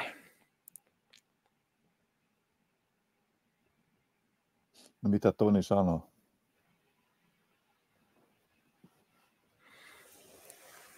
En mä oikein saa kiinni tuosta kysymyksestä nyt, että mistä, mistä on kyse. Niin No mulla voisi olla ajatus tuohon. No, kerro jos, ihmeessä. Jos mä sitten ymmärrän oikein tuota kysymystä, mutta mä itse ajattelen näin, että britit ja jenkit teki tietynlaiset sopimukset ja liitot niin kuin Neuvostoliiton kanssa vain sitä varten, Saksaa varten, ettei Saksa vallota sitten Eurooppaa ja pääse sitten tämä natsismin idea valloille, mitä ne ei kannattanut, mitä tietysti kenenkään ei pitänyt kannattaa, että se oli varmasti, tai mä itse ajattelen, että tämä oli ehkä se syy, mutta jos historia olisi mennyt toisella tavalla, niin voi olla, että britit ja jenkit, en tiedä, olisiko siitä ollut jo aikaisemmin sota heidän välillä, mutta eihän nämä britit ja jenkit ole mitään Neuvostoliiton eikä Venäjän ystäviä, mutta tietyt tilanteet tarvii tiettyä liittoutumia. Kertokaa myös vapaamuurarien rituaaleissa käytetystä verestä, mistä lie peräisin. No tota, eihän me sitä kaikkea tiedetä, mutta sen verran voidaan sanoa ja tietää, että vapaamuurarissa ja näissä vapaamuurari satanistipalvonnaissa niin voidaan käyttää eläimen verta, voidaan käyttää ihmisten verta ja sitten tällainen niin kuin kuukautis kuukautisverta ja tällaisia nuoren ihmisen verta ja, ja kaikella tavalla. Ja sitten tämä, nämä verirituaalit, kun sitä juodaan ja, ja käytetään tällä tavalla muutenkin, niin se on tavallaan, niin kuin mä näen, että siinä niin kuin pilkataan Herra Jeesuksen verta, joka tuo sovituksen, synnit antaa anteeksi ja saadaan yhteys elävää Jumalaa, niin siinä on sitten tämmöinen, he vääristää ja pilkkaa sitä niin kuin tällä tavalla. Näin mä itse ajattelen kun sitä asiaa on tutkinut.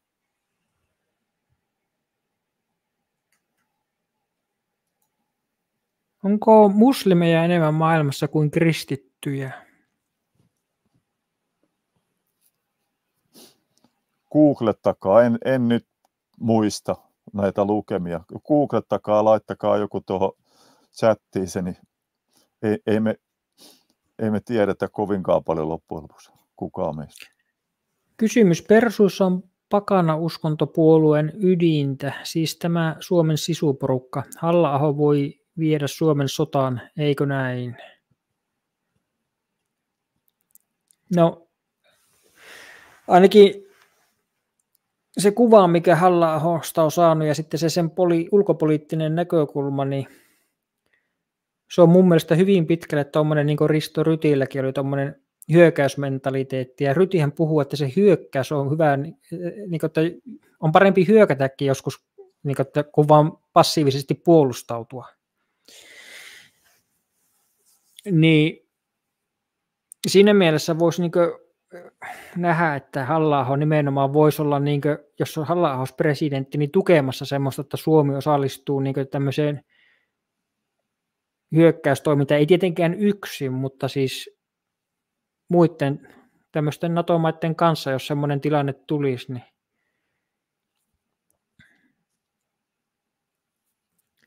että se olisi mun mielestä vain johdonmukaista silloista halla politiikkaa.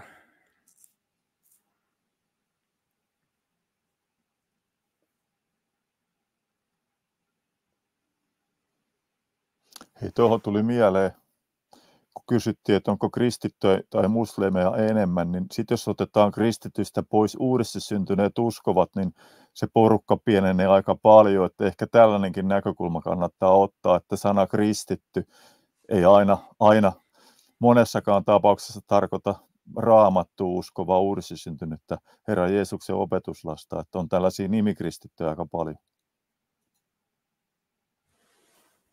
Minulla on ystävä, joka lukee ja uskoi johonkin urantia-kirjaan. Minusta hän on uskossa, mutta minua häiritsee tämä asia.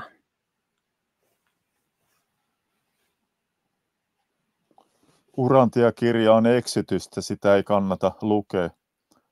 Mulla on, mulla on lyhkäinen kirjoitus Urantia-kirjasta, kun laittaa mun sivulla hakuun tai sitten jos sitä muuten googlettaa, niin saa enemmän sitä tietoa, mutta se on petosta ja eksitystä, ei ole mikään tota, raamatun Jumalan kirja, ei lähellekään, vaan täyttä eksitystä.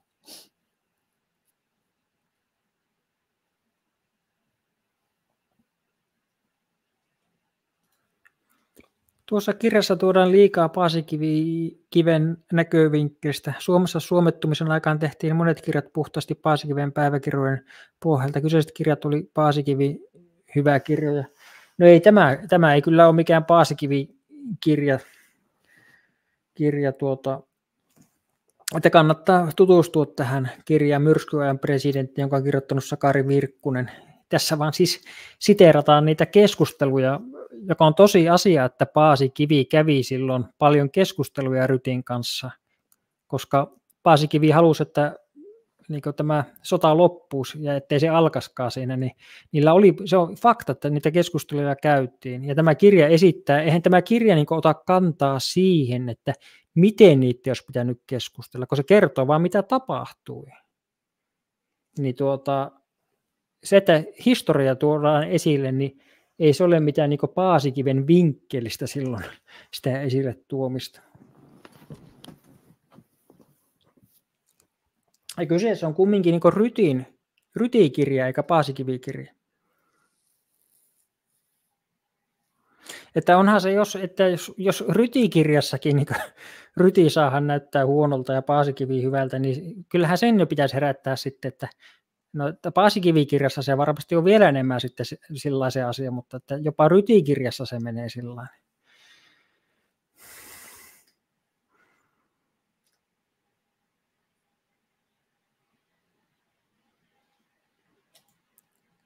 Ota esiin Tatu Tynin hyvät kysymykset. Joo, niitä tuli jo tuossa esille. Oli ihan hyviä, hyviä kysymyksiä kyllä ja sen puolella. Lue nyt mun äidin näky. Jaa, oliko tuossa joku semmoinen?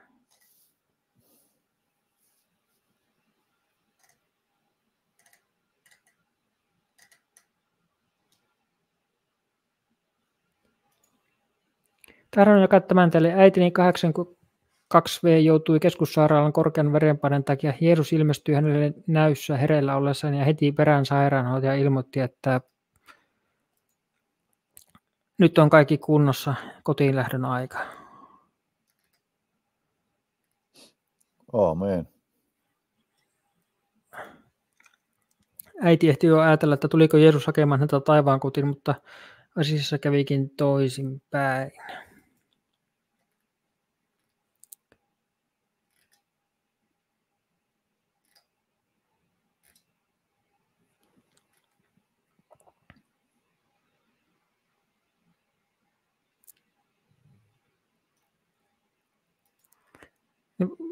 Kerroiko tästä, voitteko selvittää Urantia-kirjan oppeja?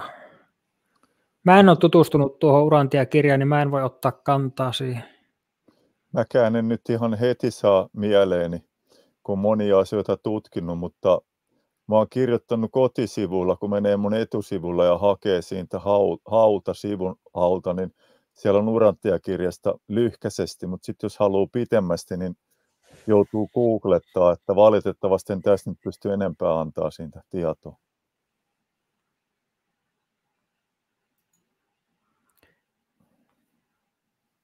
Miksi luulet, että Kyösti Kallio ei halunnut Hietaniemen hautausmalle kuten muut Suomen presidentit? Ei mitään tietoa. Mä oon Kalliota aika vähän tutkinut, niin ei pysty siihen vastaamaan.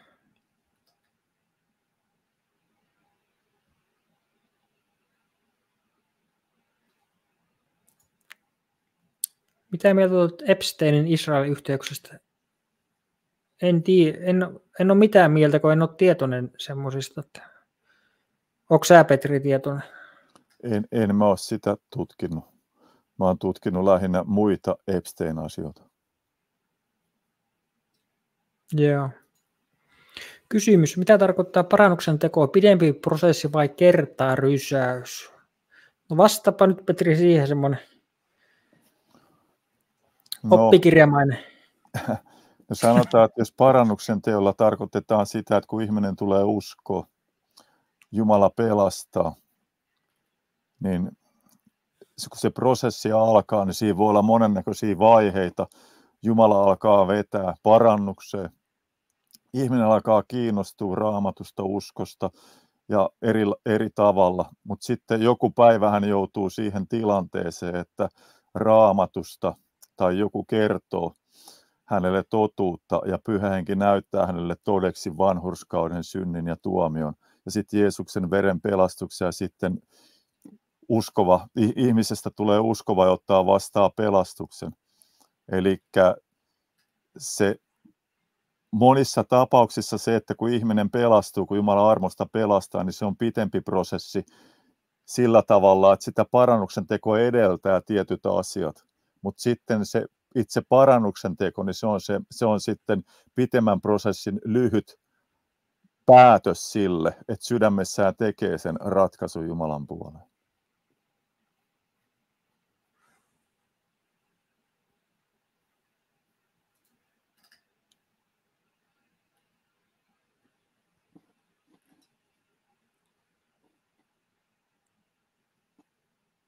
Mitä Toni sanoo? Ei, en mä sano mitään nyt siihen. Kerro sä, mä, mä katson näiltä uutta kysymystä putkeesta. Joo. No mä itse ajattelen sitä, että ehkä se käärmesymboli, tai mun mielestä se käärmesymboli viestittää tietyille tahoille sitä, että minkä vallassa tämäkin laitos sitten on, vaikka lääketieteessä on paljon ihan hyviä toimenpiteitä ja ihmisiä autetaan monella tavalla ja sitten on myös sellaisia lääkkeitä, jotka on auttanut ihmisiä. Mutta sitten tuon tämmöisen asian esille, että tämä lääkehistoria on aika lyhyt. Onko se joku sata vuotta tai vähän alle sata vuotta, tämä nykyinen lääketieden historia, niin sen lääketieden historian aikana on noin tuhat lääkettä vedetty pois markkinoilta sen takia, koska ne on ollut ihmisille haitallisia tappavia – ja sitten vuonna 2015 oli semmoinen tilasto tutkittu, että 95 lääkettä jouduttiin maailmanlaajuisesti poistamaan, koska ne aiheutti suoria kuolemia. Että ihmiset, jotka käytti näitä lääkkeitä, niin tosi paljon kuoli. Mutta sitten koko lääkehistoriassa noin tuhat lääkettä on vedetty pois markkinoilta – sen takia, koska ne on aiheuttanut sairauksia, kuolemia. Ja nyt sanon lyhkäisesti vielä tähän mielenkiintoisen näkökulman, että ne on ollut markkinoilla, eli ne on tutkittu ja on sanottu, että nämä on tutkittuja turvallisia lääkkeitä. Ja sitten ne on laitettu markkinoille, mutta sitten ne on jouduttu myöhemmin vetää pois, koska ne on huomattu, että tämä tietty lääke aiheuttaa sairauksia, ongelmia ja tappaa ihmisiä. Ja yhteensä näitä on noin tuhat lääkettä, lääkehistoriassa vedetty pois markkinoilta. Se on valtava määrä lääkkeitä, kun ajatellaan, että noin tuhat lääkettä on, on poistettu markkinoilta sen takia, kun on ihmiselle vaarallisia. Ja silloin sä ymmärrät, että, että miksi siellä se käärmesymboli on.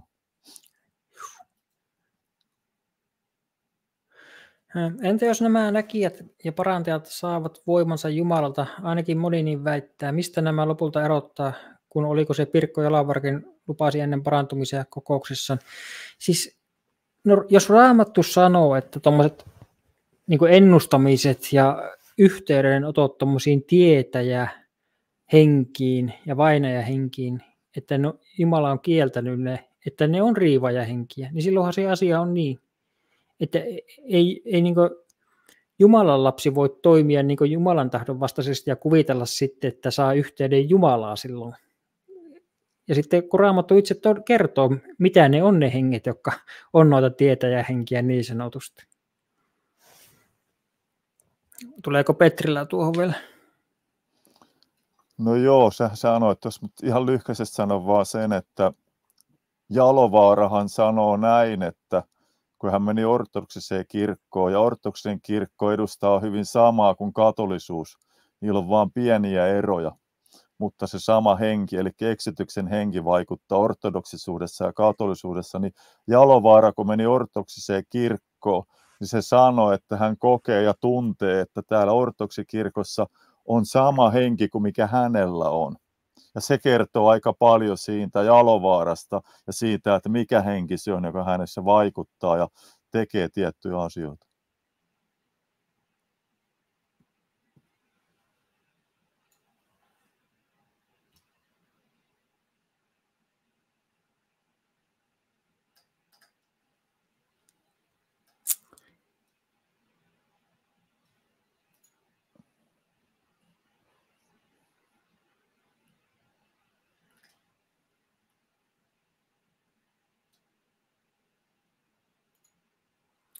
Jumalan täytyy kuitenkin ensin murtaa ja särkeä hänet voidakseen armolla anteeksi, että mulla on ehettää.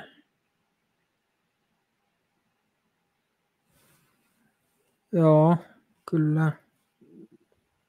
Tuo vissi, onko tuo viittaus ryti? En tiedä. En ole varma.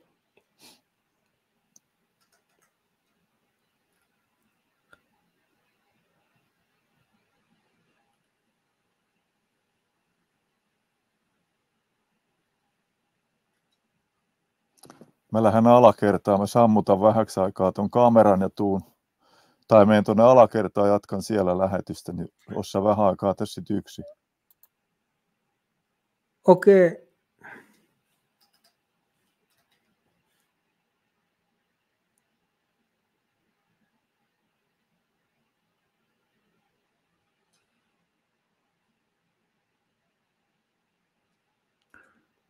Ihminen joutuu tekemään uskoon pohjaavia päätöksiä, koska kaikkia ei voi tietää kuin. Joo, mutta se pointti onkin siinä, että jos me lähdetään niin tällainen tietoteoreettisesti sitten purkaa näitä meidän, kun tietohan tarkoittaa, että se on hyvin perusteltu tosiuskomus, eli jos me väitetään, että me tiedetään jotakin, niin sillä pitää aina olla hyvä perustelu, mutta sitten se perustelu itsessään on hyvä silloin, kun sillä perusteella on taas hyvä perustelu. Että on kyse tämmöistä perusteluiden ketjusta, mutta se ketjun täytyy loppua johonkin, jotta se itse koko perusteletun ketju voisi olla niin tiedollisessa mielessä perusteltu. Ja sitten mä väitänkin, että kaikista muista lähtötiloista kuin raamatullisesta maailmankatsomuksesta, niin se perusteluiden ketju päättyy mielivaltaiseen uskomukseen. Kun taas ne, jotka uskoo raamattuun, niin se tietenkin päättyy tähän Jumalan ilmoitukseen. Se on se lopullinen perustelu. Ja sitten Jumalan ilmoitus, sillä on niin sen luonteensa puolesta kyky perustella niin itse itsensä, niin kuin Jumalakin vetoaa sanassaan itsensä, koska hän on kaikki tietävä. Jos Jumala on kaikki tietävä, niin silloin se on niin riittävä peruste itse itselleen. Ja sitten sitä kautta me pysytään selittämään kaikki niin tiedon ja ymmärrettävyyden edellytykset. Kun taas mistään muusta tämmöisestä niin näkemyksestä käsi ei pysytä siihen. Ja sitten jos joku sanoo, että no kyllä joku toinen uskonto tai tuommoinen niin vaikka esim. islam pystyy, mutta ei pysty, koska islamin niin Allahin ilmoitus ei sisällä semmoisia elementtejä, jotka niin perustelisi näitä ymmärrettävyyden edellytyksiä ollenkaan siinä määrin, mitä raamattu tekee sen. Ja sittenhän sehän on niin raamatusta muutenkin matkittu tämä islamin usko.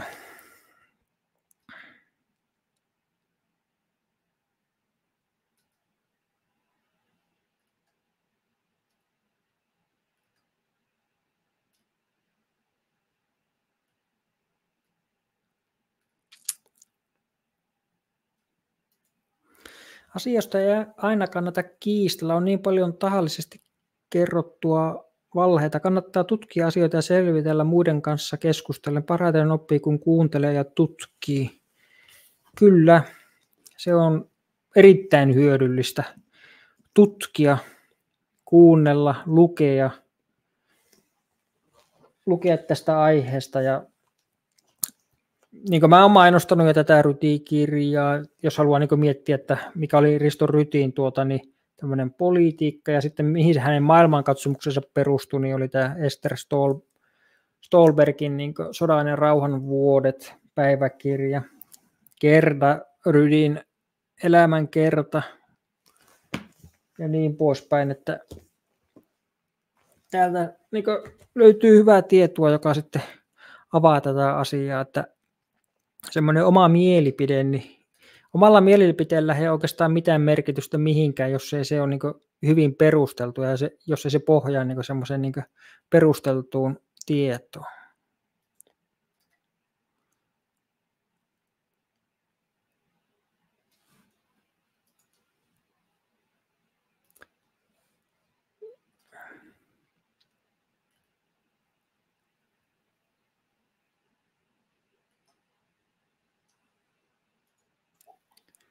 Kysymys. Jenkit aseistivat Neuvostoliittoa merkittävästi toisessa maailmansodassa. Ehkä Saksakaan ei ollut sitä, miksi se esitetään.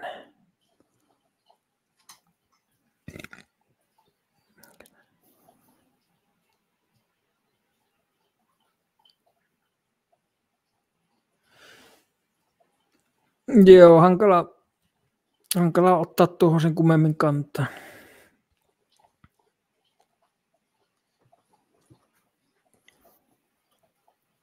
Eihän tuota, eihän sitä, niin kuin, en minäkään voi ottaa kantaa johonkin Saksaan ja Neuvostoliittoon ja tuommoisen his, niiden maiden historia muuta kuin sen kautta, mitä mä oon tutkinut siitä. Niin tuota, johonkin tutkimukseen sitten sen pitää kuitenkin aina perustua sen näkemykseen. Että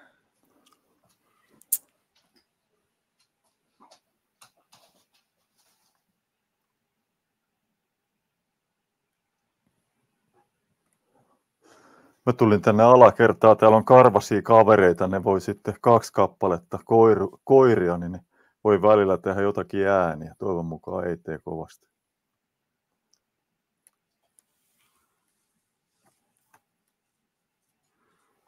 Jotenkin aina unohtuu, että Neuvostoliitto hyökkäsi Suomeen ja nyt Venäjä hyökkää Ukrainan. Mutta Saksa hyökkäsi niin tuossa jatkosodassa kyllä Neuvostoliittoon ja Suomi tuki sitä hyökkäystä silloin kun Ryti oli presidenttinä. Ja sitten Neuvostoliitto hyökkäsi talvisodassa Suomeen sen vuoksi, kun suomalaiset ei ottanut vakavasti Neuvostoliiton huolia siitä, että Saksa saattaa hyökätä Neuvostoliittoon, kun Neuvostoliitto olisi halunnut sen vuoksi niin heidän strategisesti tärkeitä alueita miehittää sillä että he olisivat voineet niin estää paremmin mahdollisen Saksan hyökkäysyrityksen. Eli he olisivat tarvinnut Suomelta semmoista yhteispeliä siinä asiassa, johon Suomi ei suostunut, kun Suomi vetosi puolueettomuuteen, että he ei voi mennä silläkään tavalla niin yhtään Neuvostoliiton puolelle. No mietitäänpä sitten, oliko Neuvostoliitolla niin mitään niin semmoisia perusteita olettaa, että noin voisi käydä, miten ne pelkäs. No jatkosotahan paljasti, että niin juuri kävi sitten, miten he pelkäsivät. Ja eihän sitä, että ne tarvi sitä tuota, hankoa. Neuvostoliittohan miehitti silloin hankoa sitten talvisodan jälkeen, niin ei se kumminkaan auttanut niitä. Saksa tuli kuitenkin. Eli siinä ne laski väärin venäläiset silloin.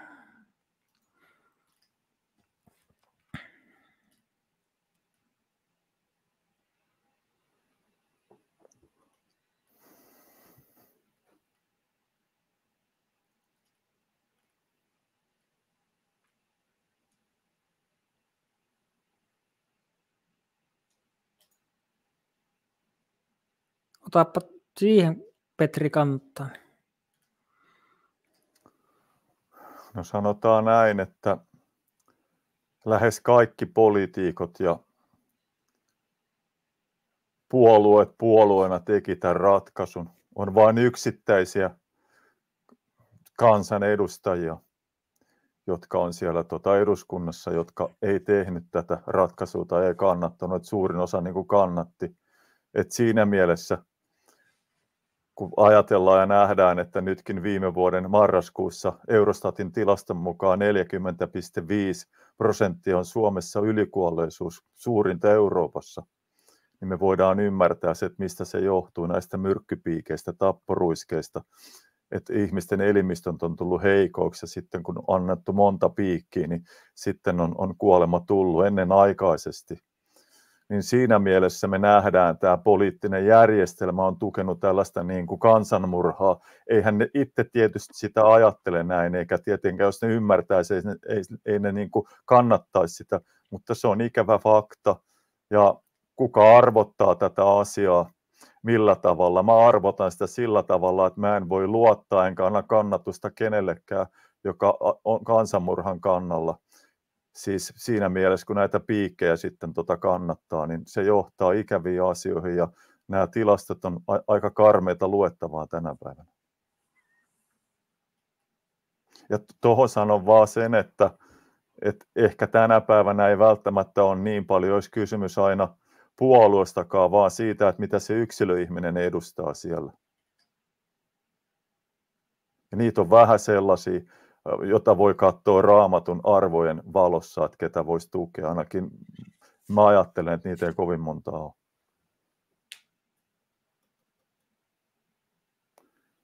Mutta tuohon vielä sanon nopeasti, että presidentin vaaleissa en kumminkaan äänestä ketään.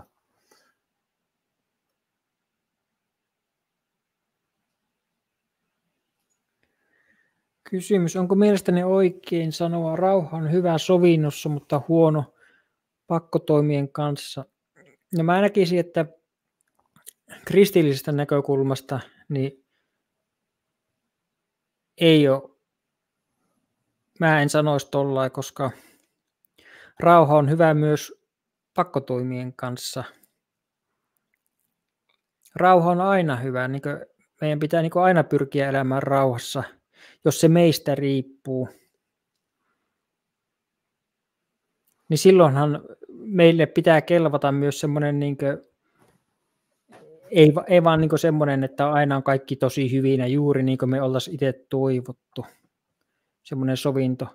Ja, ja just tuo Rytihän siinä mun esityksessä, mulla oli semmoinen dia, missä se sanoo Paasikivelle, että joo, kyllä me neuvotellaan niin Neuvostoliiton kanssa sitten, kun se on semmoinen oikeudenmukainen se että me ei haluta, että Neuvostoliitto sanelee meille tuota rauhaehdot. No lopputulos oli sitten sitä sotaa vain jatko. Sitten ei ole rauhaa. Ja sitten kumminkin tehtiin rauha vielä huonommilla ehdoilla. Ja sen seurauksena suomalaiset ovat saanut elää vuosikymmeniä täällä hyvää elämää. Niin kyllä mä väitän, että, että se on tuota, niin rauha on aina hyvä. Ja se kuuluu siihen kristityn niin kuin asenteeseen ja mielenlaatuun ja siihen, mihin Jumala ohjaa meitä. Että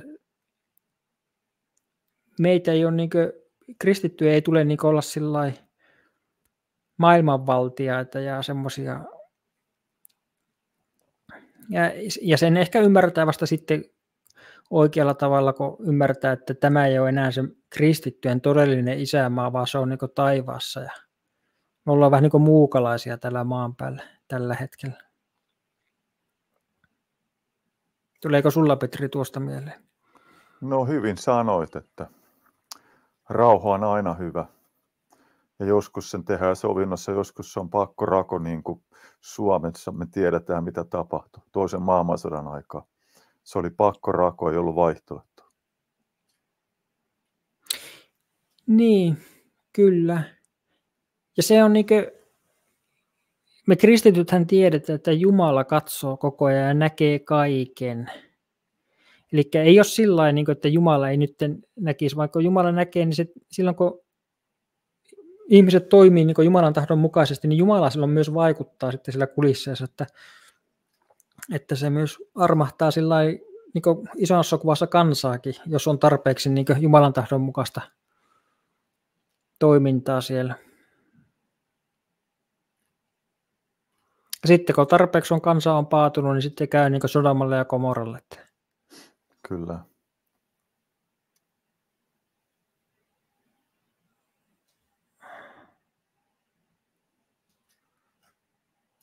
Joo. Ja Nivala on haudattu kalliin.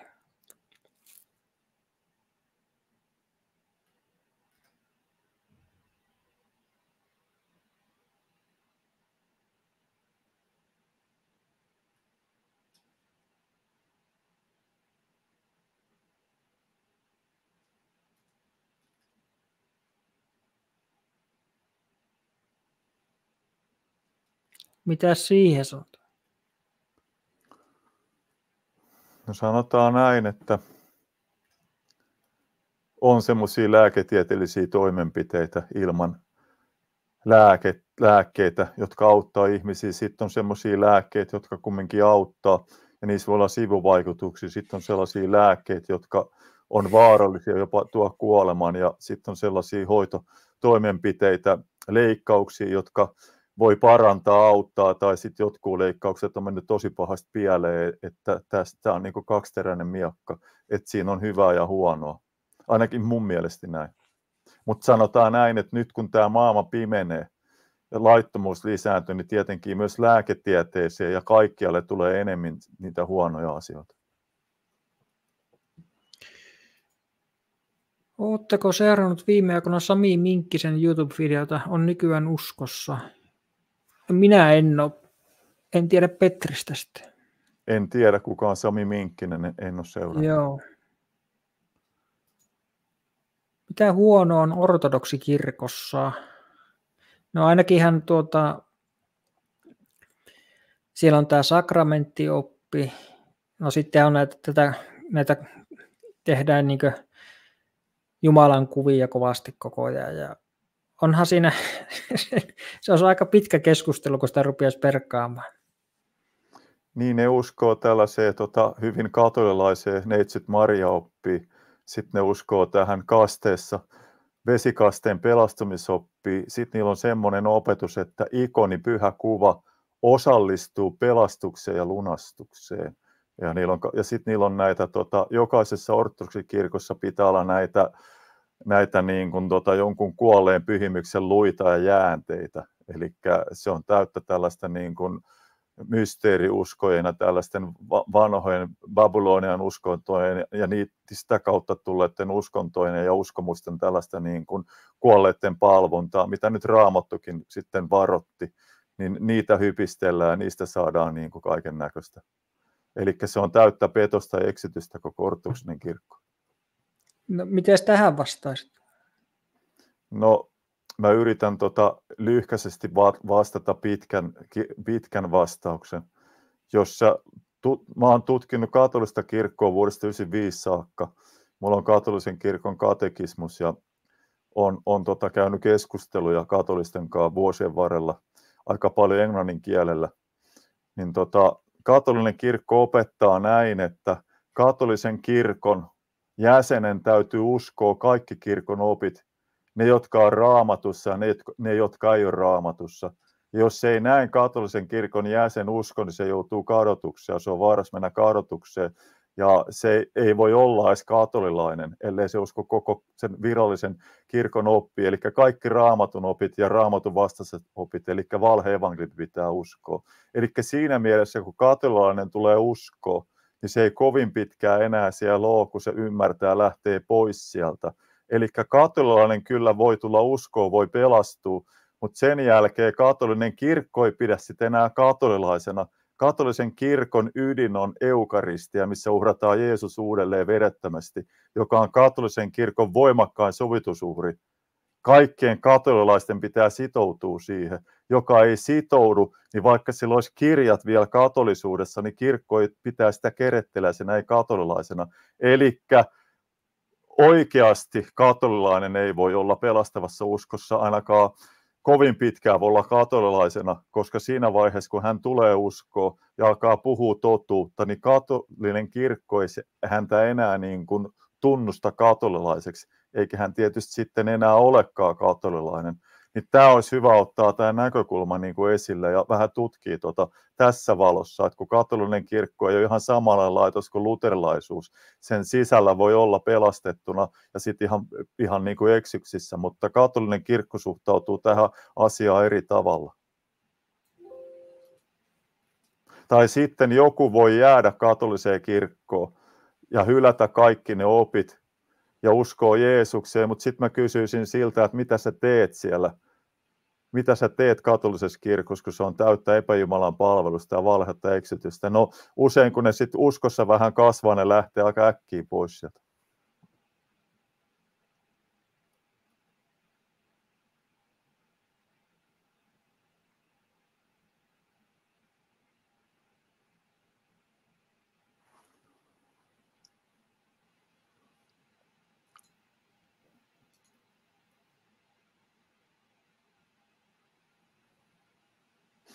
Otatko tohon, Toni? Mitä? Otatko tohon? Ota sä vaan, mä katson tässä parhailla, että pitää yrittää etsiä näitä uusia. Meidän täytyy ymmärtää se, että vanha liitto ja uusi liitto oli erilaisia.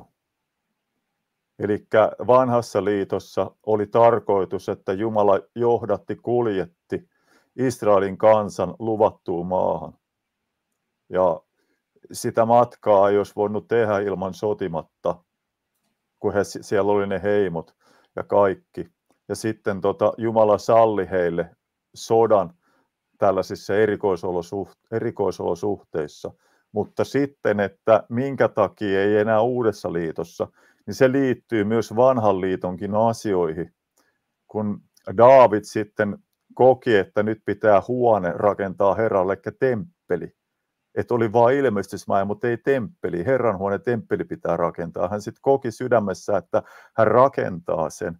Niin Herra puhuu hänelle, että sinä et rakenna minulle temppeliä, koska sä oot ollut sodassa ja sun kädet on verentahrimat. Mutta sinun poikasi, joka on rauhanmies, niin hän tulee rakentamaan minulle temppelin. Ja nyt, nyt on semmoinen, niin kuin, tässä tulee esille tämän kahden liiton ero. Vanhan liiton aikana Jumala ei asunut ihmisten sydämissä, ihmisen sisällä, vaan laki, opetus oli sitten kirjoitettu kiveen, mutta uudessa liitossa ollaan siinä tilanteessa, että Jumalan henki, Jumala tulee asumaan meidän sydämiimme. Jumalan lakiopetus muuttaa meidän sydämiimme. Ja silloin tapahtuu se sama asia kuin Salomo ja Daavid että siellä kun Salomo rakensi Herralle huoneen, niin sellainen ihminen pystyy rakentamaan Jumalalle huoneen, mihinkä Jumala tulee asumaan, joka ei sotinut eikä vuodattanut verta. Ja samalla tavalla tässä uudessa liitossa me emme saa vuodattaa verta, emmekä käydä sotia. Ja uudessa liitossa ei ole minkäänlaista tällaista käskyä sotimiseen, tällaiseen, niin kuin, että me otetaan ase ja tapellaan ja ammutaan lähimmäisiä. Mutta semmoinen sota siellä on, että meillä on sota henkivaltoja syntiä vastaan, mutta ei lihaa ja verta vastaan. Eli me ei saada tappaa missään tilanteessa meidän lähimmäisiä, eikä olla osallisia siihen, vaan meidät on kutsuttu rauhan tekijöiksi, niin kuin Salomo oli rauhan mies. Ja sen takia hän oli kelvollinen rakentamaan sen temppelin, minne Jumala tuli asumaan. Voisitko Toni jatkolähetyksessä tehdä aiheeseen liittyvän mielipidekyselyn? Suuren yleisön mielipide kyllä kiinnostaa. Kyllähän sitä voi tehdä tulevaisuudessa semmoisia kyselyjä. Mm.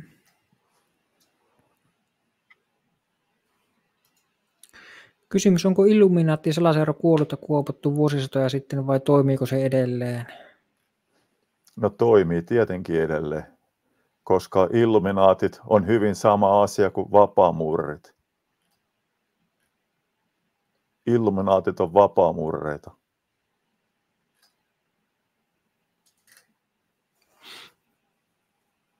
Eli ne on tällaisia valaistuneita, pitkälle edenneitä vapaamurryssä. Illumine, illuminate, illuminate tarkoittaa valaistumista. Valaistua englanniksi. Siitä tulee sana illuminaatti.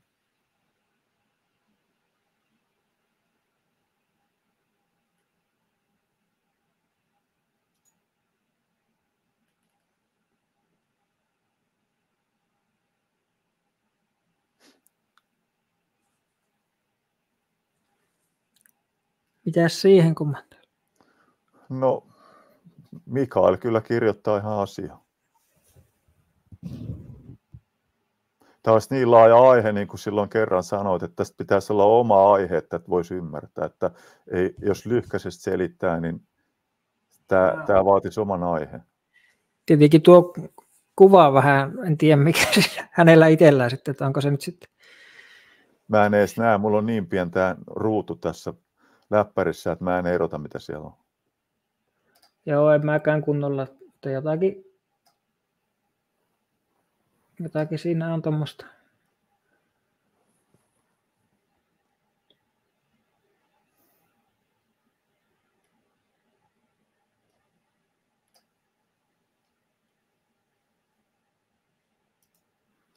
Uskominen tuntuu niin vaikealta, ettei siihen kaikki millään pysty. Jokaisessa suuntauksessa tuntuu olevan omat sudenkuopat. Ja kumminkin tämäkin kaveri uskoo koko ajan. Sullakin on joku uskovarainen maailmankatsomus, todellisuuskäsitys, jonka kautta sä selität tätä todellisuutta, jonka kautta sä arvotat, mikä on hyvää, mikä on pahaa ja niin poispäin.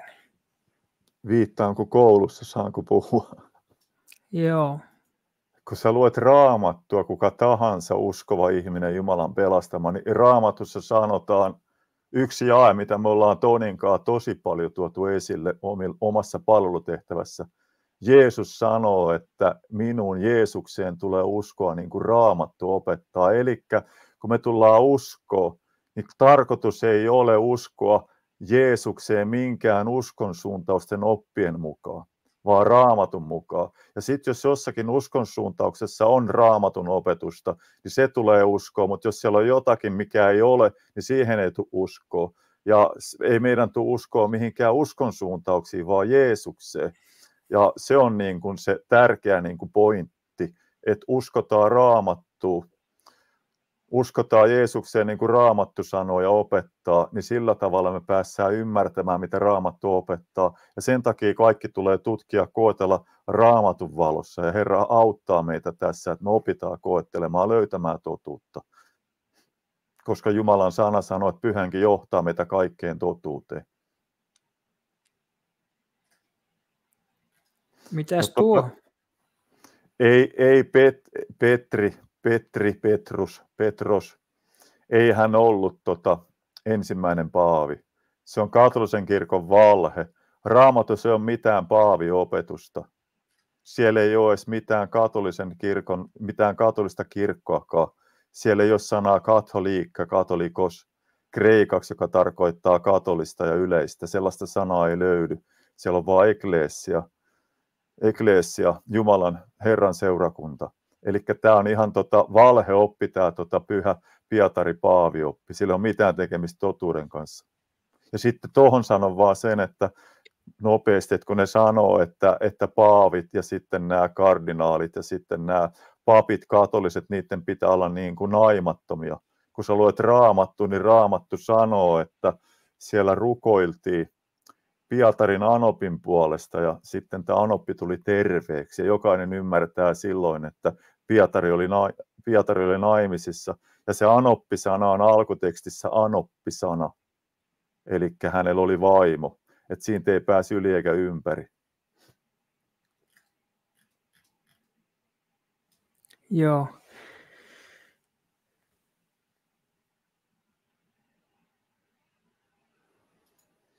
Nyt täytyy mennä. Valitettavasti en saanut vastausta muurarikyssäriin öitä. Ahaa. En tiedä. Mulla on mennyt ohi sitten tuommoinen kyssäri kyllä. Että... Joo, niitä menee. Mäkin olin äsken pois vähän pitkään, niin mä en edes nähnyt mitään. Joo.